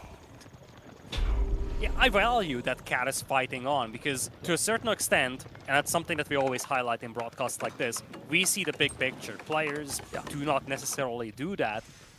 He probably, well, he certainly knows that he's behind, but especially in a game like this, especially a game that would put his opponent onto match point, he's fighting on and Yes. he's trying to see if his opponent is going to slip up. I think what he's unaware of is how big of a slip up this would have to be for Kiljardi to lose this game. Yeah, because he doesn't know about the second TC, and like in fairness, and, and this is what I'm waiting for, is like the Ghulams haven't been sprung yet. Once that, like once the extra element of the comp comes in, I think that's where he's gonna be like, okay, yeah, well played, well played. I mean, Kurultai can do some miraculous things, and Mangonel might like help you a bit, but you know, if we check Cat's vision on the game, you'll see the point that LidaKor is making. Like, there's literally nothing he sees right now. You know, he's as blind as a bat. So, the Cat, he's going to need a little push over the edge. I think that's going to make it a little bit more sour, a little bit more frustrating when he realizes. He doesn't does even he- have enough sheep. That's how bad his Wait, position is, have- folks. He has one pass, like, okay, two pastures. He has one pasture on the Ovoo. I mean, in fairness, he lost 15 villages, so how many pastures do you really need, I guess? Um, Uh, the army count isn't looking uh, very much in the favor of Kiljardi. It's only 22 against 15, but the quality, it's triple the army value right now for Kiljardi. He's got a bunch of Camel Lancers, but it's no longer about the army at this point, KP. It's about, as you kind of touched on that, two TCs, and Kiljardi is going to be like, okay, if you are not coming out of your base, I will force you out of it because I will capture the third sacred site. He also has four relics, and the fifth one is also easily accessible for him. Kiljardi has all the map control he wants. One of the tough things here as well is like usually I'd highlight recovery point is the defending player can use siege against like a slow moving element in the army and defend with spears. Like, you know, I, I call it the Chinese strat, right? Like they just nest the bees and spears. Um, the problem here is like Ayyubid's build in, in the field, right? I always found like of the original Civ that that was one of the more interesting matchups is Mongols versus Abbasids because they can both just react and build siege on the fly. And that happens here too. So, you know, Kurultai can do some miraculous things, but know, Kiljardi, to me, like what you just highlighted, he doesn't have to come out. He can just park himself here, macro up. Maybe it takes an extra five or six minutes. Cat has to come out soon, though. Like, gold-wise, he must be tapping that vein pretty hard on the backside. Um, to the point that I imagine he's like already 1.5, 1.6k through. Yeah, it, it- that's not going to last very long when you're scaling siege here. And was that Ger again? Oh, dude. has he been using Gers as outposts? I think he has been. But the Ger is pricier than the Outpost. Yeah, but it can move, right? True. but it doesn't give Yam. oh, that's true. But I think, I, honestly, I think if you're coming out that far that you can use Yam, you're probably going to die anyway, right? Like, I feel bad for Cat because you probably feel like you're a, you're on an island surrounded by sharks right now. He's just And someone drops a nuke on you, yeah. Yeah, yeah, it's like all of a sudden a boat drops from the sky because someone deactivated the flying Dutchman cheat, right? It's, I think the thing for Cat is he's banking on a mistake being made because the reality is like the reason why Cat hasn't called this is that I think one thing that gets lost, especially in 1v1s, 1v1s is not about playing perfect. It's about making the least mistakes. And he's banking on Kiljardi making a mistake. Yeah, I, I think I agree with you. One of the things, again, is that he doesn't know about the second TC. So in his mind, first of all, he actually managed to decap one of the sacred sites, so credit where it's due. That wasn't an easy thing to accomplish on the opposing side of the map. But if he doesn't know about the extra town center and the eco build of, of Kiljardi, and given that he didn't see all the Ghulam and crossbow build up, he might just say, look, I just need to take out these Lancers and I might have a shot at this. But when you look at the big picture, I think this is why Kiljardi played this smart, he didn't overcommit. He didn't want to finish the game right now. He just accepted the fact that he's got an advantage and made it into a five times bigger advantage. Yeah, I, I honestly feel like Kiljardi is leading him on right now. Cat's like, one day, can we be friends? Like, yeah, I've just, I've got other friends at the moment, but soon. Okay. Because, like, what's happening here is Kiljardi's only showing the Lancers. This is the first time it's going to show anything else. and Cat, his soul's about to be shattered, man. The size of this army. 55 versus 17. Now, that's 6 to 15 siege as well. But only two mangoes? I... Uh, I wouldn't hold my breath. This fight will probably be over before I run out of air. 58 army against 17. It's a 146 population against 83. If, I feel like once Cat sees this, he might not even see until the end of the fight. He's just going to tap out once he sees that army. Did he, like, I think he saw two-thirds of the army. Like, the army was so big compared to his vision. I think he didn't even see all of it yet. He's like, whoa! That's a bit... Okay, yeah, but if you look at it from the side, I mean, it's so even more. is going to drop a keep. He has basically all the blacksmith upgrades he needs. He has like an army four times as big as his opponents. It's actually ridiculous how safely Kiljardi plays this. I mean, you know, like, better safe than sorry. You know, if someone's going to just hide in the hole, go build a nuke and drop down the hole. Like, we've all watched Starship Trooper. No one wants to go down those holes. We know how that ends. It's going to be a keep drop. It's going to be siege. And then it's going to be a bitter taste of death for Cat. I'm like trying to figure out way, like Cat, Sully's out, like we're watching Lord of the Rings, Two Towers. But the problem is in that movie, they were actually genuinely going to die if it wasn't for the third player. There is no third player here. So like, he's going to have to Sully out. Oh God. Oh my lord. that must be sad. That must I be mean- just very sad. And He has It- curl tie? I don't know. does it matter? No. Uh, Springles? Okay, yeah, but here we go. Ready? How dare you touch my baby Springald? Lancers go in. Spearmen are going to clash, and yeah, this is it. There's just too many units here. Mangonels get a good hit. Kurultai with the extra damage, but you just have no front line, man. it's such a painful game. Cat, this is GG. Match point for Kiljardi. Cat, Man, dude, I hope you got some metal juju. I hope you got a 3D coach here to pat you on the back and give you a talk that inspires the nation right now, because this game has to feel demoralizing. And I'm actually wondering about the mental state of Cat heading into game number four with this, because when you look at this, oftentimes we don't have the chance to touch on player mental, but it's a thing, it's something that the players often point out. Cat was in a losing position for 10 15 minutes. Kiljardi was in a winning position for 10 15 minutes. Subconsciously, that gives you and takes away momentum for these respective players. So for Kiljardi, he's going to head into game number four here with a high amount of confidence, whereas for Cat, you know, there might be some shakiness at the beginning of game number four as a consequence of this demoralizing last 15 minutes. All right, it was all strategic. Kiljardi didn't just do that to secure the win. He lives in Finland. I think Cat lives in Russia. So um, it's later where Cat is right now. Checkmate. Boom. We figured it out.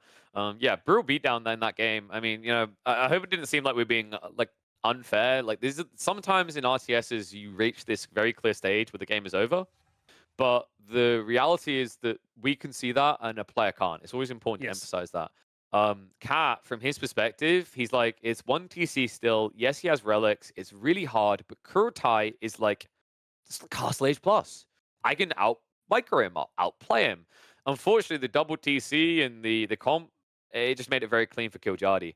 Uh, means we do find him on match point, and you know what? I thought this was maybe going to be English versus French, but my oh my, Oh my. what a peculiar matchup. You know, I don't think, and I've cast, I think at this point, like I may have cast more Coastal Cliffs games than anyone because I just nerd around watching the scrims. I don't think I've once seen Order of the Dragon.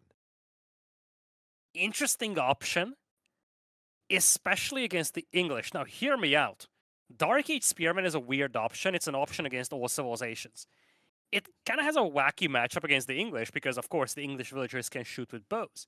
Having said that, technically, with that Spearman, if you can delay the feudal age of the English, this whole concept of longbow buildup is just thrown out the window. Yeah, so oh god, dude, I, hate Crackety. I hate you so much. My brain is like I'm just recalling a game where he rushed, he outpost rushed after a proxy racks an English player, but that was DQC who genuinely, he he every year is the year of the turtle to him, so it's kind of different. But I'm trying to think if there's like a way you can proxy racks an outpost at all. I think it'd be a little bit wonky. Big shout out, by the way. I did just see a bunch of Anon gifters coming in, 20 gift subs. bunch of people have been subbing, by the way. Keep them pumping in. Reminder, guys, these broadcasts, Very hard to run, very expensive. A lot actually goes into it behind the scenes, um, more than I think is ever made public here. So if you've got a Prime sub, which doesn't cost you anything, definitely recommend dropping it, especially considering we're at the beginning of a tournament that's going to last a month. We've got several more weeks of fun ahead of us on the weekends. But let's resolve this fun. Match point for Kiljardi. An interesting pick. Order the Dragon up against English. that I would say is almost borderline S tier on Coastal Cliffs. Let's see if Cat can force a game five or if Kiljardi is about to get creative. Let's see how the mental lines up after that very demoralizing game in game number three for Cat. Kiljardi definitely feels like he's the one carrying in the momentum into this game. But he's also picking a civilization that's very much out of the box for this map. It's going to be very interesting to see how he approaches this game with the Order of the Dragon. Yeah, like first things first, any proxy racks, I'm not expecting it, but like maybe just to be safe. It looks like his Hornet's weird, so we're not going to get any weird plays. I wouldn't expect it. Spearman up against English is just a death sentence. Like even as strong as they are, it's short bows. But what I am looking towards is probably mine work and mass men arms. That's very strong here. That's a very interesting build, especially considering that Longbows are mobile and your own men arms will not fare very well. So, you know, Kiljardi, considering how aggressive he typically is as a player, and right now, Order the Dragon gameplay revolves around Feudal, like in terms of their best chance to win, I think we possibly could end up with truly our quickest game here. No spearmen so far here from Kiljardi. That's no, obviously one of the be. first things we're looking at here with the order. And it looks like this is just going to be an ordinary feudal age here for him. Like if you if you turn if you open spearmen here, you're just feeding. Like I, I'd shake my head and just wonder what you're doing. It's just it's literally the worst civ in the game to build spearmen against. You could do like a cheesy like outpost rush, but once again, worst civ to do this to in the game, right? Like if Cat scouts you walking across with a slow moving spear or a slow moving villager, he's just gonna pull his villagers and kill you. So yeah, it, you just have to aim for the, the feudal. Um, the question is whether it is going to be that Meinwerk. I would be shocked if it isn't. I think Golden Cuirass is legitimately just too good to pass up. And the Aachen Chapel just doesn't feel substantial enough. In fact, they, in my eyes, they made Meinwerk even better when they buffed the base gathering rate of Gilded Villages from 25 to 28%. It's going to be the Meinwerk Palace coming in here for Kiljardi. Only two villagers on the building, though, and that tells you a lot of things, actually it means that Kiljardi wants to bank up a bunch of resources when he, or by the time he hits Feudal Age. And that's something that I feel like he's going to spend on Gilded Horsemen. A unit that's going to be devastating against these early longbows. And it's also a unit that mimics the behavior of early game knights, something that you can use to great effect when it comes to raiding. Well, like, one interesting thing you're seeing here is actually Kiljardi's taking up a lot quicker. The deceptive thing that's really kind of wild about Order Dragon is that like those two villagers, it compares to the free from 3D cat. Because you gotta remember they have a 20% build speed buff, and dude, I love this. Boar, it's a bit of a coin flip, but one player tends to get it spawned close to the secondary tree line. What a great read here. Kiljardi is gonna probably still have to up an outpost, but with the way this is now protected by the wood line, longbows can't penetrate it. I love it. I just love it. It gives you so many things it gives you kind of an early warning against any kind of aggression. It gives you a strong point with a tower. And of course, needless to say is the fact that it gives you a massive source of extra food. I also think, like, legitimately looking at this spawn, I really like it for Kiljardi. He got a retracted wood line. He got another one forward on the south side. Like, pretty much you can just wall that south side off or outpost and it's protected. Um, also, the goals between the two wood lines. So, like, now with that ball play, you just have a natural defense scheme against Lombo spam. And if they wrap around the east and north side, there's there's nothing there, right? It's just berries and then open barren wasteland. So, like later in the game, it's kind of uncomfortable. But the important part against English is that you survive the first 10 minutes. That's a big sheep horde, though, for a cat. Probably not the most important thing ever, but I mean, there is certainly a level of silver lining, especially when you consider the previous game and its outcome. It's going to take away most of that sheep from his opponent, but he himself is going to be somewhat focused on farms already. He has dropped three of them. He hits Feudal, and we are likely going to see some longbows coming over very soon. Uh, the question is how far, how deep, and what's the reaction going to be? This is surprising, actually. Kiljardi doesn't want to even try for that man arms player that's quite popular at the moment. Instead, he's going to be going for the Horseman. Yeah. Horseman I are love it. pretty good. Like 15 base damage and the amount of health on these units. They're actually pretty good at killing eco, as well as obviously winning fights. It's very reminiscent to a Feudal Age Knights. It's a little bit, um, it's a little bit more fragile, especially when you consider the actual armor values. But you can play this very similarly to how you would play a Knights game with a civ like French, for instance. Mm. It's it's interesting in that regard, right? Like, because it costs the same as a knight. And I could like, you know, you could But say it's quicker. yeah, it's quicker. It wouldn't win a fight versus a knight. That's guaranteed. Like his attack speed is worse. You know, his base damage is worse. His health is better, sure, but like arm is worse. But against the English is insanely effective. Like the, you also have have to remember your opponent is building Lombos, which are premium archer units. So every one you find is just all that more valuable. I love the sneaky palings play by Cat, but it's not gonna work here. Nice touch. Yeah, multiple horsemen coming in. And one of the things that you get with these horsemen is an ability to chase down the enemy scout. Unlike knights, these guys can chase down the enemy enemy scout. Mm-hmm. Big problem here for Kiljardi is that they are still very expensive units. And once Cat starts bringing in a decent amount of spears, they will no longer be able to take fights. Yeah, but this is like the OP-ness of, of Horseman. Like, I still rate Horseman as like S tier unit. I was, I've stood by that a long time. I'll still stand by it because, yes, you could argue Spears counter them, Spears much cheaper, blah, blah, blah. But the, the reality is, if you're just using Horseman to attack the enemy's like army, you're not playing Horseman right. Especially Gilded Horsemen. These are raiders, oh, right? Oh, So- certainly. so, like, if Cat comes to contest your eco, you contest his. The difference is that if you drop an outpost, you stop Cat's contest. If he drops an outpost, it doesn't stop yours, right? Like, it's a very powerful tool. And that's exactly how you need to use this. Kiljardi lost his scout in the meantime. You can see that at the top overlay. He's got zero of it. He actually queued up a new one to make up for that. He desperately needs that info because, of course, one of the best ways to use um, those Gilded Horsemen is when you have a scout guiding them towards their targets. Yeah, and that's the nice thing about having the stables. It sucks to lose the scout, but at least you actually don't have to sacrifice the villager, which is a really big deal for Ordered Dragon to remain optimal. Love this follow-up. Gilded Archers are sick here. What he's doing right now is he's leveraging the breadth of the Meinwerk Palace to guarantee that he gets value out of every text eventually. And that's a really big edge here because the English, their timings for blacksmiths make or break them. Meinwerk kind of breaks that matchup because it's 40% cheaper, 40% faster, and also remember that you're saving wood on building a blacksmith, right? It's your landmark. All those details make it a very powerful tool in the Order of the Dragon arsenal. And another thing is these archers, not only are they like two archers in one, they have 5.5 tower range. They can close on English archers really quickly.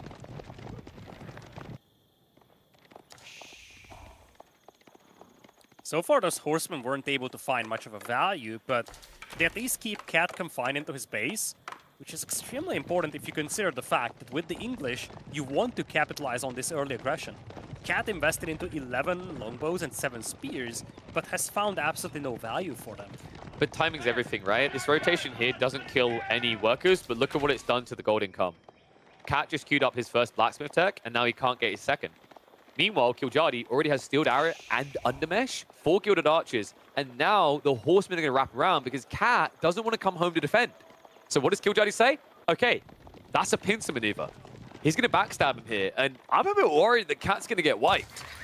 Uh, that's dangerous. Boar's gonna get abandoned here. No defensive tower for Kiljardi, but he does have a couple of archers and some Gilded Horsemen back at home, and uh, I think Kiljardi is still waiting to decide if he wants to take this fight.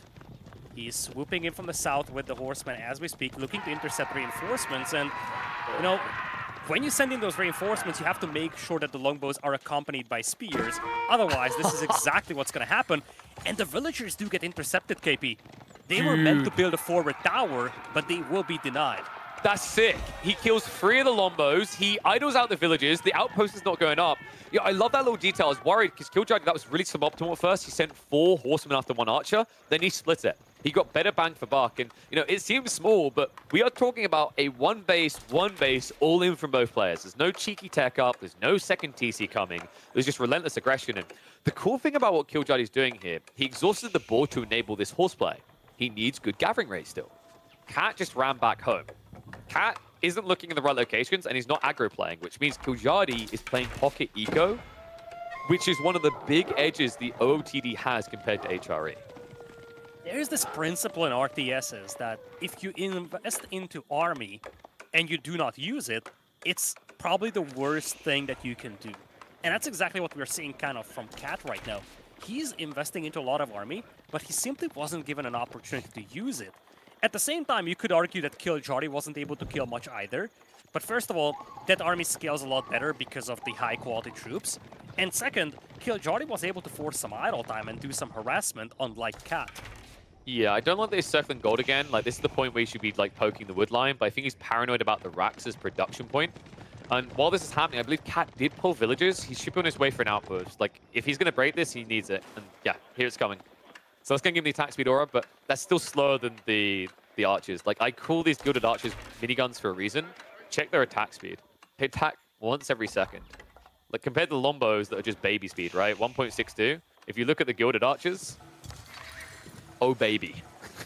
and Kiljardi is going to have defensive fortifications soon. He's actually on stone. So he's going to start dropping arrow slits and potentially fortifications to those towers. And once you fortify a tower like that, good luck pushing through that with just spears and archers. Not to mention it's cheaper because you are getting that same perk the HRE Oh yeah, sir. Arrow slits on the way, but I feel like fortification is what's going to make this really strong um, as a defensive position for Kiljardi. Ooh, saves the longbow just in time. That's kind of important, right? Your backline should be sniped easily, so even 1 HP longbows are very valuable compared to 1 HP spears. But he goes in for the reinforcing longbows.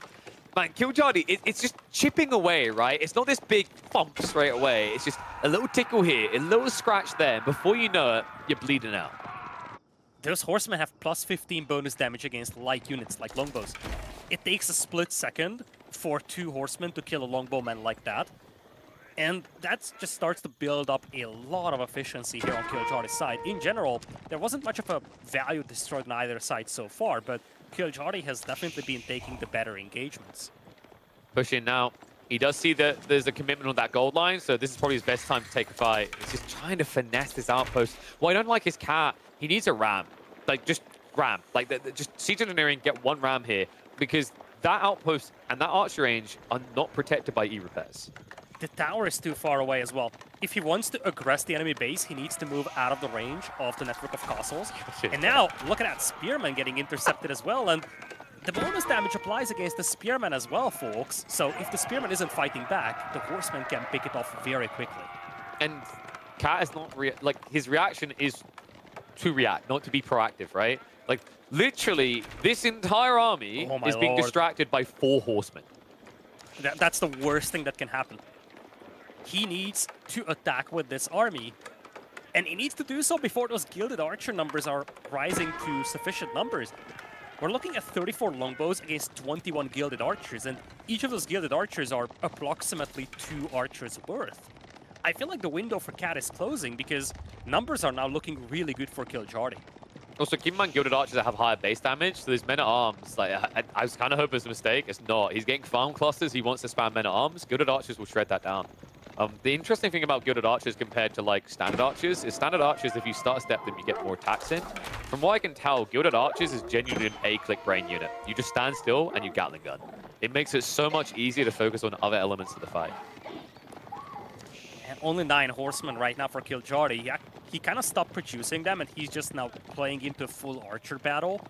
But it really comes down to the fact that he is distracting his opponent with just a handful of uh, troops here. And Cat isn't even keeping track of these horsemen with his scout. You see, he's all of his troops are back at home now. When Kiljardi is not even close to his base. Kiljardi is sitting back at home, and I think at this point he's actually flirting with the idea of Castle Age. They both are, but if they both go Castle Age with these comps, Kiljardi wins because of scale armor. 24 archers with 5 range reduction up against Lombos is not a pretty picture. And the, the reality of what happens there is Cat has to come out to fight because it will be about relics then. It'll be about regnants. Oh, you yeah. can't let Order of the Dragon, you can't let Kiljardi get five relics, aka 10 relics, 960 gold of passive income. And once you get to Castle Age, of course, you do have access to Gilded Lancers, which will be insanely effective as raiding units. Gilded Men-at-Arms could still be on the menu for Kiljardi. And of course, the Castle Age upgrades also come in big. Regnitz is the landmark of choice for Kiljardi. On the opposing side, you probably expect the King's Palace. But uh, again, as you kind of touched on this, problem is, especially with that scout being gone, Cat doesn't want to be here. He needed to win this game like five minutes ago, I feel. He's blind right now, right? Like he can't see a thing. Yeah. This game Oh, wait, is starting to be very reminiscent of the previous one, where Cat might feel like, okay, there's still a reasonable chance for me, but the game is slipping out of his hands while he's confined into his base. Yeah, so like the, the crazy part is that he's beating him on the tech up. Like I was expecting that to at least be quick of cat. And uh, yeah, of course it's five relics, right? So it'll be 800 gold. I'm still thinking in uh, Holy Island Mongolian Heights terms. But like how do you not get five here is what I'm thinking. Like maybe Cat rushes a monastery and just takes them away that way, but you're gonna have to guard them one by one. Meanwhile, while you're doing that, Kiljardi could just split up. I think Kiljardi wants to fight though, right? Veterancy is Yeah. on the way. I want to see scale armor being primed alongside this. I think it's just a game breaker. Wolves And it's it's, time. it's gonna be the diversion again. Wait, wait, He's wait, He's going wait, to wait, push with wait. the horseman on the Wait, right wait, side. no, no, no! Ooh! Okay. Oh god, I, I always forget that. Some I swear sometimes it actually blows up the wall. Even though it's not going to delete it immediately, that is right now 16 horsemen, right? And That's is doing it again. He's just using this as a diversion to pull Cat's army, but he just wants the relics. You cheeky kid, that was sick. Cat. He replaces the burning wall. He'll get the gate up. So while this is happening though, Gilded Archers are now moving out. Veterancy's coming in. Cat has already got his. That's the benefit with the council hall. You get it a lot quicker, but dude, you're not going to slap as hard here, man. Oh, the spearman got detached from the longbows. The longbows are completely undefended. You, dude, Kiljardi wants this so badly, man. And it, the problem is, now that you've come out your base, it's very difficult to just run away. He has got the attack speed aura, so he's going to turn for the fight now. I think Kiljardi just needs to slow this down, right? Like, hold your guns. Like, your advantage isn't diving into the base right now. Your advantage is a mid-map. Play away from the aura, and you can easily beat these Lombos. He's waiting for the tier 2 range defense as well. Veterancy now in for Cat's army, both for the longbows and the spearmen. On the other side, Veterancy there as well. Interesting choice from Kiljardi. He's actually starting to mix in some... Wait, wait for it. Nope. Oh, he has it. All right, now now kill him. Kill the monk. You've got a big goal ahead of you, buddy. We believe in you, though. Now, he's not going to be able to get that, but it's an injured monk now, so it's kind of a liability. And this is already Kiljardi. One relic bank, two more on the way. This is... This is bad. Uh, yeah, it's 2 TC for the English, but the thing I always say is, like, also these numbers are deceptive at the top. Add 28% to Kiljardi's number. Cat doesn't have a Yeah. lead. And now Kiljardi is on stone. Could be for a second town center, but it could also be for a keep. One thing is sure, he is scaling this game very, very rapidly. And uh, I, I just want to touch on the Gilded Crossbowman, something that we've seen being used in one of the previous games. It takes about four arrows from Gilded Crossbows to kill a man-at-arms. So those men-at-arms can evaporate very quickly. Yeah, maybe a fifth one, right? Because you have armor clad eventually, Yeah. but it, it's still really bad for you. Uh, these Gilded Horsemen are dangerous right now. They hit for 19 damage, so anything gets touched is going to die. And I think there's some villagers there. Kiljardi, a little bit slow to react. He's going to chase across now. Slow touch, just, just a little tiny touch. Textiles is there from Cat, though, so we'll minimize any losses. Behind this, though, we are looking time. at... Yeah, it's not just that. There's a fourth relic now on the way home from Kiljardi. He got four. The efficiency is insane, by the way. 2,700 destroyed value against 440. Cat is struggling so badly against the mobility of this oh. cavalry, and we're oh. just seeing a textbook way of playing against the English. You just want to stretch out their attention and never let them move out of their base. Yeah, and he's switching off of Gilded Archers. Like, this is about to be mass crossbowmen and mangonels, which basically kills everything Cat has. This is a tough one. Um, there's Gilded Archers. I love the fact he's still probing. Horsemen are raiding in. Should be some idle time. Cat not reacting straight away here. So could end up losing some eco. Villagers will find their way through. I love that gate, dude. I love Cat right now. I've been begging for this. I think I said at the start of the day.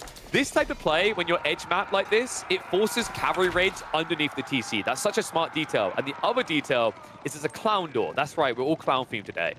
They raid you left side, you run right side. It just turns into a Benny Hills. Sick read, that just saved him a bunch of villages. And now he's walling off the left side, something that he desperately needs. He has been wanting a fight for so, so long, but he was never given one. But he kept getting ran around by Killjoy. Now with those walls up, Cat might finally get an opportunity to fight. I don't know if his army is going to be sufficient for that at this point, but Cat might be finally given an open field battle in the middle. Problem is he doesn't know about the mangoes yet, right? And the scout, if the scout gets sniped, he won't know before the fight. But that's the thing that is really scaring me right now. Um, where's the siege workshop in the base? I think it's oh, on it's the north be a side. bench. Dude, Oh, it's gonna be a bench. from the trees, Yep. he's not going to see it. Village is moving out right now.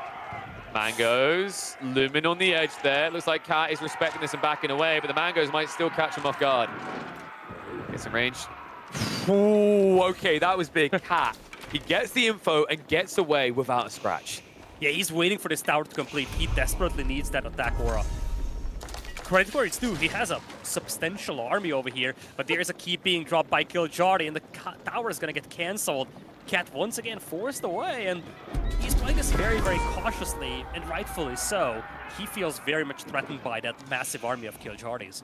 Yeah, and I think Killjoy still doesn't have the scale armor, right? Which is a little bit surprising. I mean, it's definitely very cost efficient at this stage. Like, the, the interesting thing about scale armor for the Gilded Archers is that it's basically, it's the price of your regular undermesh, but it's three times as effective.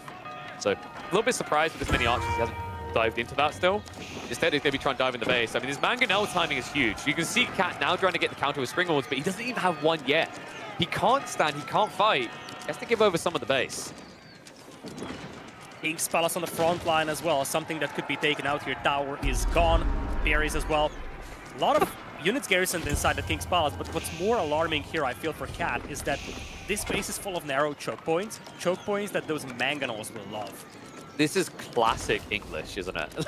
like the fact that they are being dove in their own base by mangonels and they just have to keep running. Big mistake there. He hung around. I mean, dude, if that hits one more time, this is over. Like, Cat is on the very edge of death here. The problem is the Horseman can easily find the Springles. That's where you see the value of those gilded units. Just one split second And is all you need to take out Oh, big groups of units. And now Cat is just getting annihilated. Kiljardi feels like there is blood in the What? water and he's diving deep. Dude, he's about to reach the farms. I mean, this game, like, Cat is flowing 1,400 food. He doesn't know what to build, what to do here. Mango's just blitzing through the farms now. Finally, one of them is going to be struck down by all the TC fire, and the Springald able to backstab here. But now the commitment in. Another Mango shot out, keeping the longbows away. And behind this, we've got more Gilded Crossbowmen coming. So this is just wave number one. Kiljardi will lose this, yes. But think about what he's done here. The kills on the military, the kills on Eco, the idle time, just putting him further and further ahead. And behind this, they believe he's been dropping keeps on those sacred sites. Oh, certainly. And he's gotten some really good hits on these uh, longbows. Wait, what cat? What what cat? Cat? No, no, no. no, what? He's in range of the archers. Oh my god! I thought he had one more fight in him, but I don't think he does. He's, he's winded. He's dead. A lot of villagers getting killed over here. It's a cleanup, but as you pointed out, this was almost just a diversion at this point by Kiljardi. He fortified the sacred sites in the middle, he brought forward some production, and now he's switching into some Gilded Knights. Now, I'm not a big fan of his army count right now, KP. He actually took a big beating, but he also managed to hit Cat's eco very, very heavily. And you know what Cat doesn't have right now? Spearmen. So Gilded Knights can work magnificently well here. Yeah, and the Guild Crossbowmen solved this this next transition to men-arms. What I love is the confidence where Kiljardi was literally building that keeper regime with three villages. Because right now, Cat's entire army is distracted, right? He's not coming out for this. Like, this is just going to be two sacred sites locked in, and Cat, by the time he realizes what's happening here, by the time he comes out, five minutes, and sees that keep for the first time, how do you transition fast enough here? Like, Trebs is not going to be quick enough. You can't mass Rams at this stage. That just feels a little bit silly. It's a tough game, man. I, I think, like, this is similar to the last game where we're kind of sitting here going, Kiljardi would have to unplug the PC and throw it out the window. Like, we are very close to that point again. And Yeah. Yeah, uh, definitely. I don't think the advantage of Kiljardi is as big as it was in the previous game, but the setup is actually very, very similar. Cat is confined into his base with little to no vision or uh, information on his opponent. And by the time he's going to start coming out, it's going to be too late. Killjoy is now fortifying the sacred sites, not just with keeps, but also with walls. And it's gonna be a Berkshire wow. Palace here for Cat. He's going into Imperial. He gets a lot of good buffs for those longbows with the Imperial Age. Flaming arrows, elite, volley. But all of these decks take A, time to research, B, it's also going to be very expensive. And at the same time, the clock is ticking. We're down to seven minutes, and Killjoy might just play all in Castle here. Okay, so, like, I want to give him credit that this is a creative solution from a terrible position in that, like, that is now a double workshop to pump a Bombard, so he could break the keep, right? Like, he could. The problem is, like, Killjoy is gathering a lot of stone, and he's going to buy time. Now, behind this, we need to do a farm check, because that's the most important thing right now. If Killjoy is, like, 30 farms deep, he's fine here. He'll catch up. If he's not, then we have a problem, potentially. 13. Yeah. Food is about to be a really big issue for Killjoy, and now, because he's Imp versus Castle, he can't use Siege to ignore that issue. Yeah, it's, um, as I said, I don't think his lead is as big as it was in the previous game. Now, Stone Stonewalls will help a little here, but villagers will be denied by the Berkshire Palace. I think it, it has to start with the fact that you Stonewall off the left-hand side and just say, okay, we need to focus everything on the right. I think he also wants to go into Imperial, and this is where I have to ask you the question, KP. Are we going to see an Elzbach Palace? I think so. Like, th this is your win condition now. I don't think you need to go later. Like, Elzbach Palace is kind of busted right now. If you have a critical component your opponent has to fight over, it's a bit dicey because he could just roll the dice and go left instead, but that means he's playing away from Berkshire. Like, Elzbach, it's kind of legit now, uh, especially since they fixed the influence bug and it just gives you an extra keep here. The only risk is if there's a cannon coming out, but Cat's not building a bombard. Building that a trap. It definitely feels like a missing piece. I actually wonder if Cat saw the keep. He saw the stone wall, and it's going to be a pass of Rabia, and, you know, some of you might be frowning on this and say, okay, why is a pass of Rabia? Elzbach Palace could be so good to fortify this position, but the pass of Rabia comes at a discount, and Killjoy might be desperate to get into Imperial as quickly as possible. It's also like it gives him a backup plan, right? Like True. no one look whenever you fall in on sacred sites, you kind of feel like you're taking a gamble and it's like something went wrong, right? Nothing went wrong in this game. He has four relics. He has a lot of map control, so like it, it, I get where he's coming from. It just makes sure that he's never going to be behind a late game, but the problem is you're playing English versus OOTD. Um, it's kind of delusional to just pretend that you aren't in some way going to be behind. Like, Order the Dragon right now, I've heard it from literally the best players in the game. They don't really know how you win in Imp Plus. It doesn't feel good. So now that we're here, and English is still a Civ that's very confident at this stage of the game, Kiljardi is going to basically have to finesse this. There's still four minutes to go, and the Trebs are getting through the keep. Yeah, there is no emergency repairs on that keep. Four minutes to go indeed. As you said, Killjoy isn't willing to all in this um, this Sacred Site play. He's leaving his options open with the boss of Shrabia. But I feel like he might be forfeiting this position a little too easily here. Just one villager sent to repair, no E-repairs on that keep, and losing that keep would be very underwhelming for him so, so easily. Here come the Springalds, but no repair villagers on the horizon. He's to try to pinch it. He's to force the fight. I mean, a Gilded Crossbow Mass. He's doing this before he's got elite status right now. So, tech advantage for Cat. And he has got mass lombos with the attack speed aura. Kiljardi, Mangoes need to hit that back line. Like, he's worried as if there's Springalds here, but there are not. And Arms overwhelming the Knights. Good Waltz coming in. Gilded Crossbow going to stand their ground. You know what? I actually think he might have done it. There's three minutes to go. The mangoes are unanswered, and Cat's yeah. going to try to reboot Men at Arms. But now that Killjoy knows, oh, the traps got pulled. You kind of touched on this, KP. Killjoy pulled back the mangonels because he was afraid of Springles, but so was Cat. He pulled back the traps, and that's why that castle is still standing.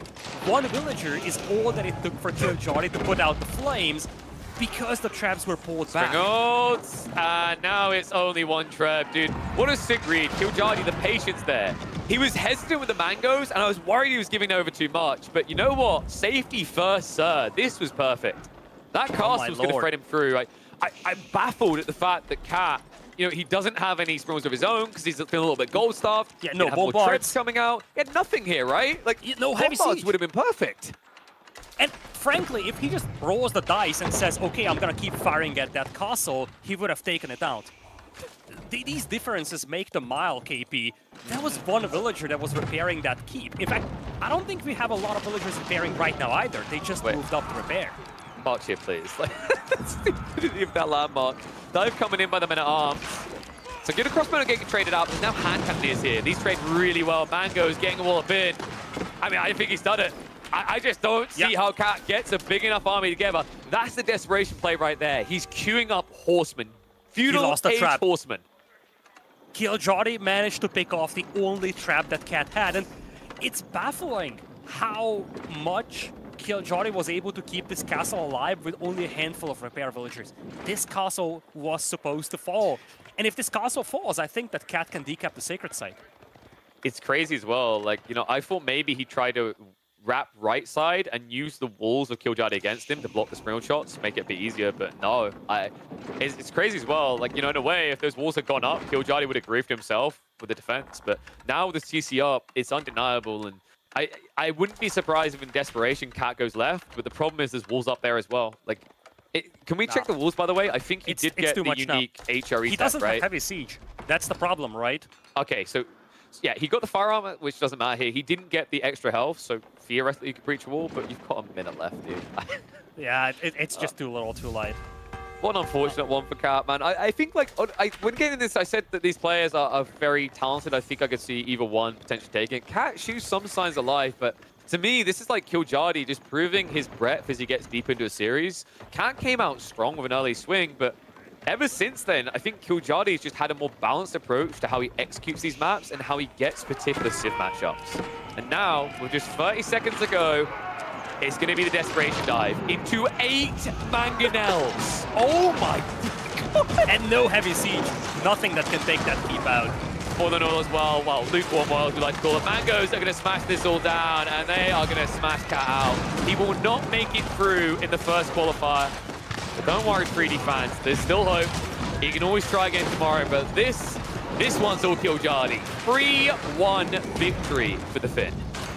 Convincing set. And really, as you kind of touched on this, Cat had a great start, but what he needs to find is how to rejuvenate himself when he loses momentum. Game number one, he had an insane momentum and he capitalized on it, but things started falling apart when he started losing momentum. Game number four, uh, game number three, game number four.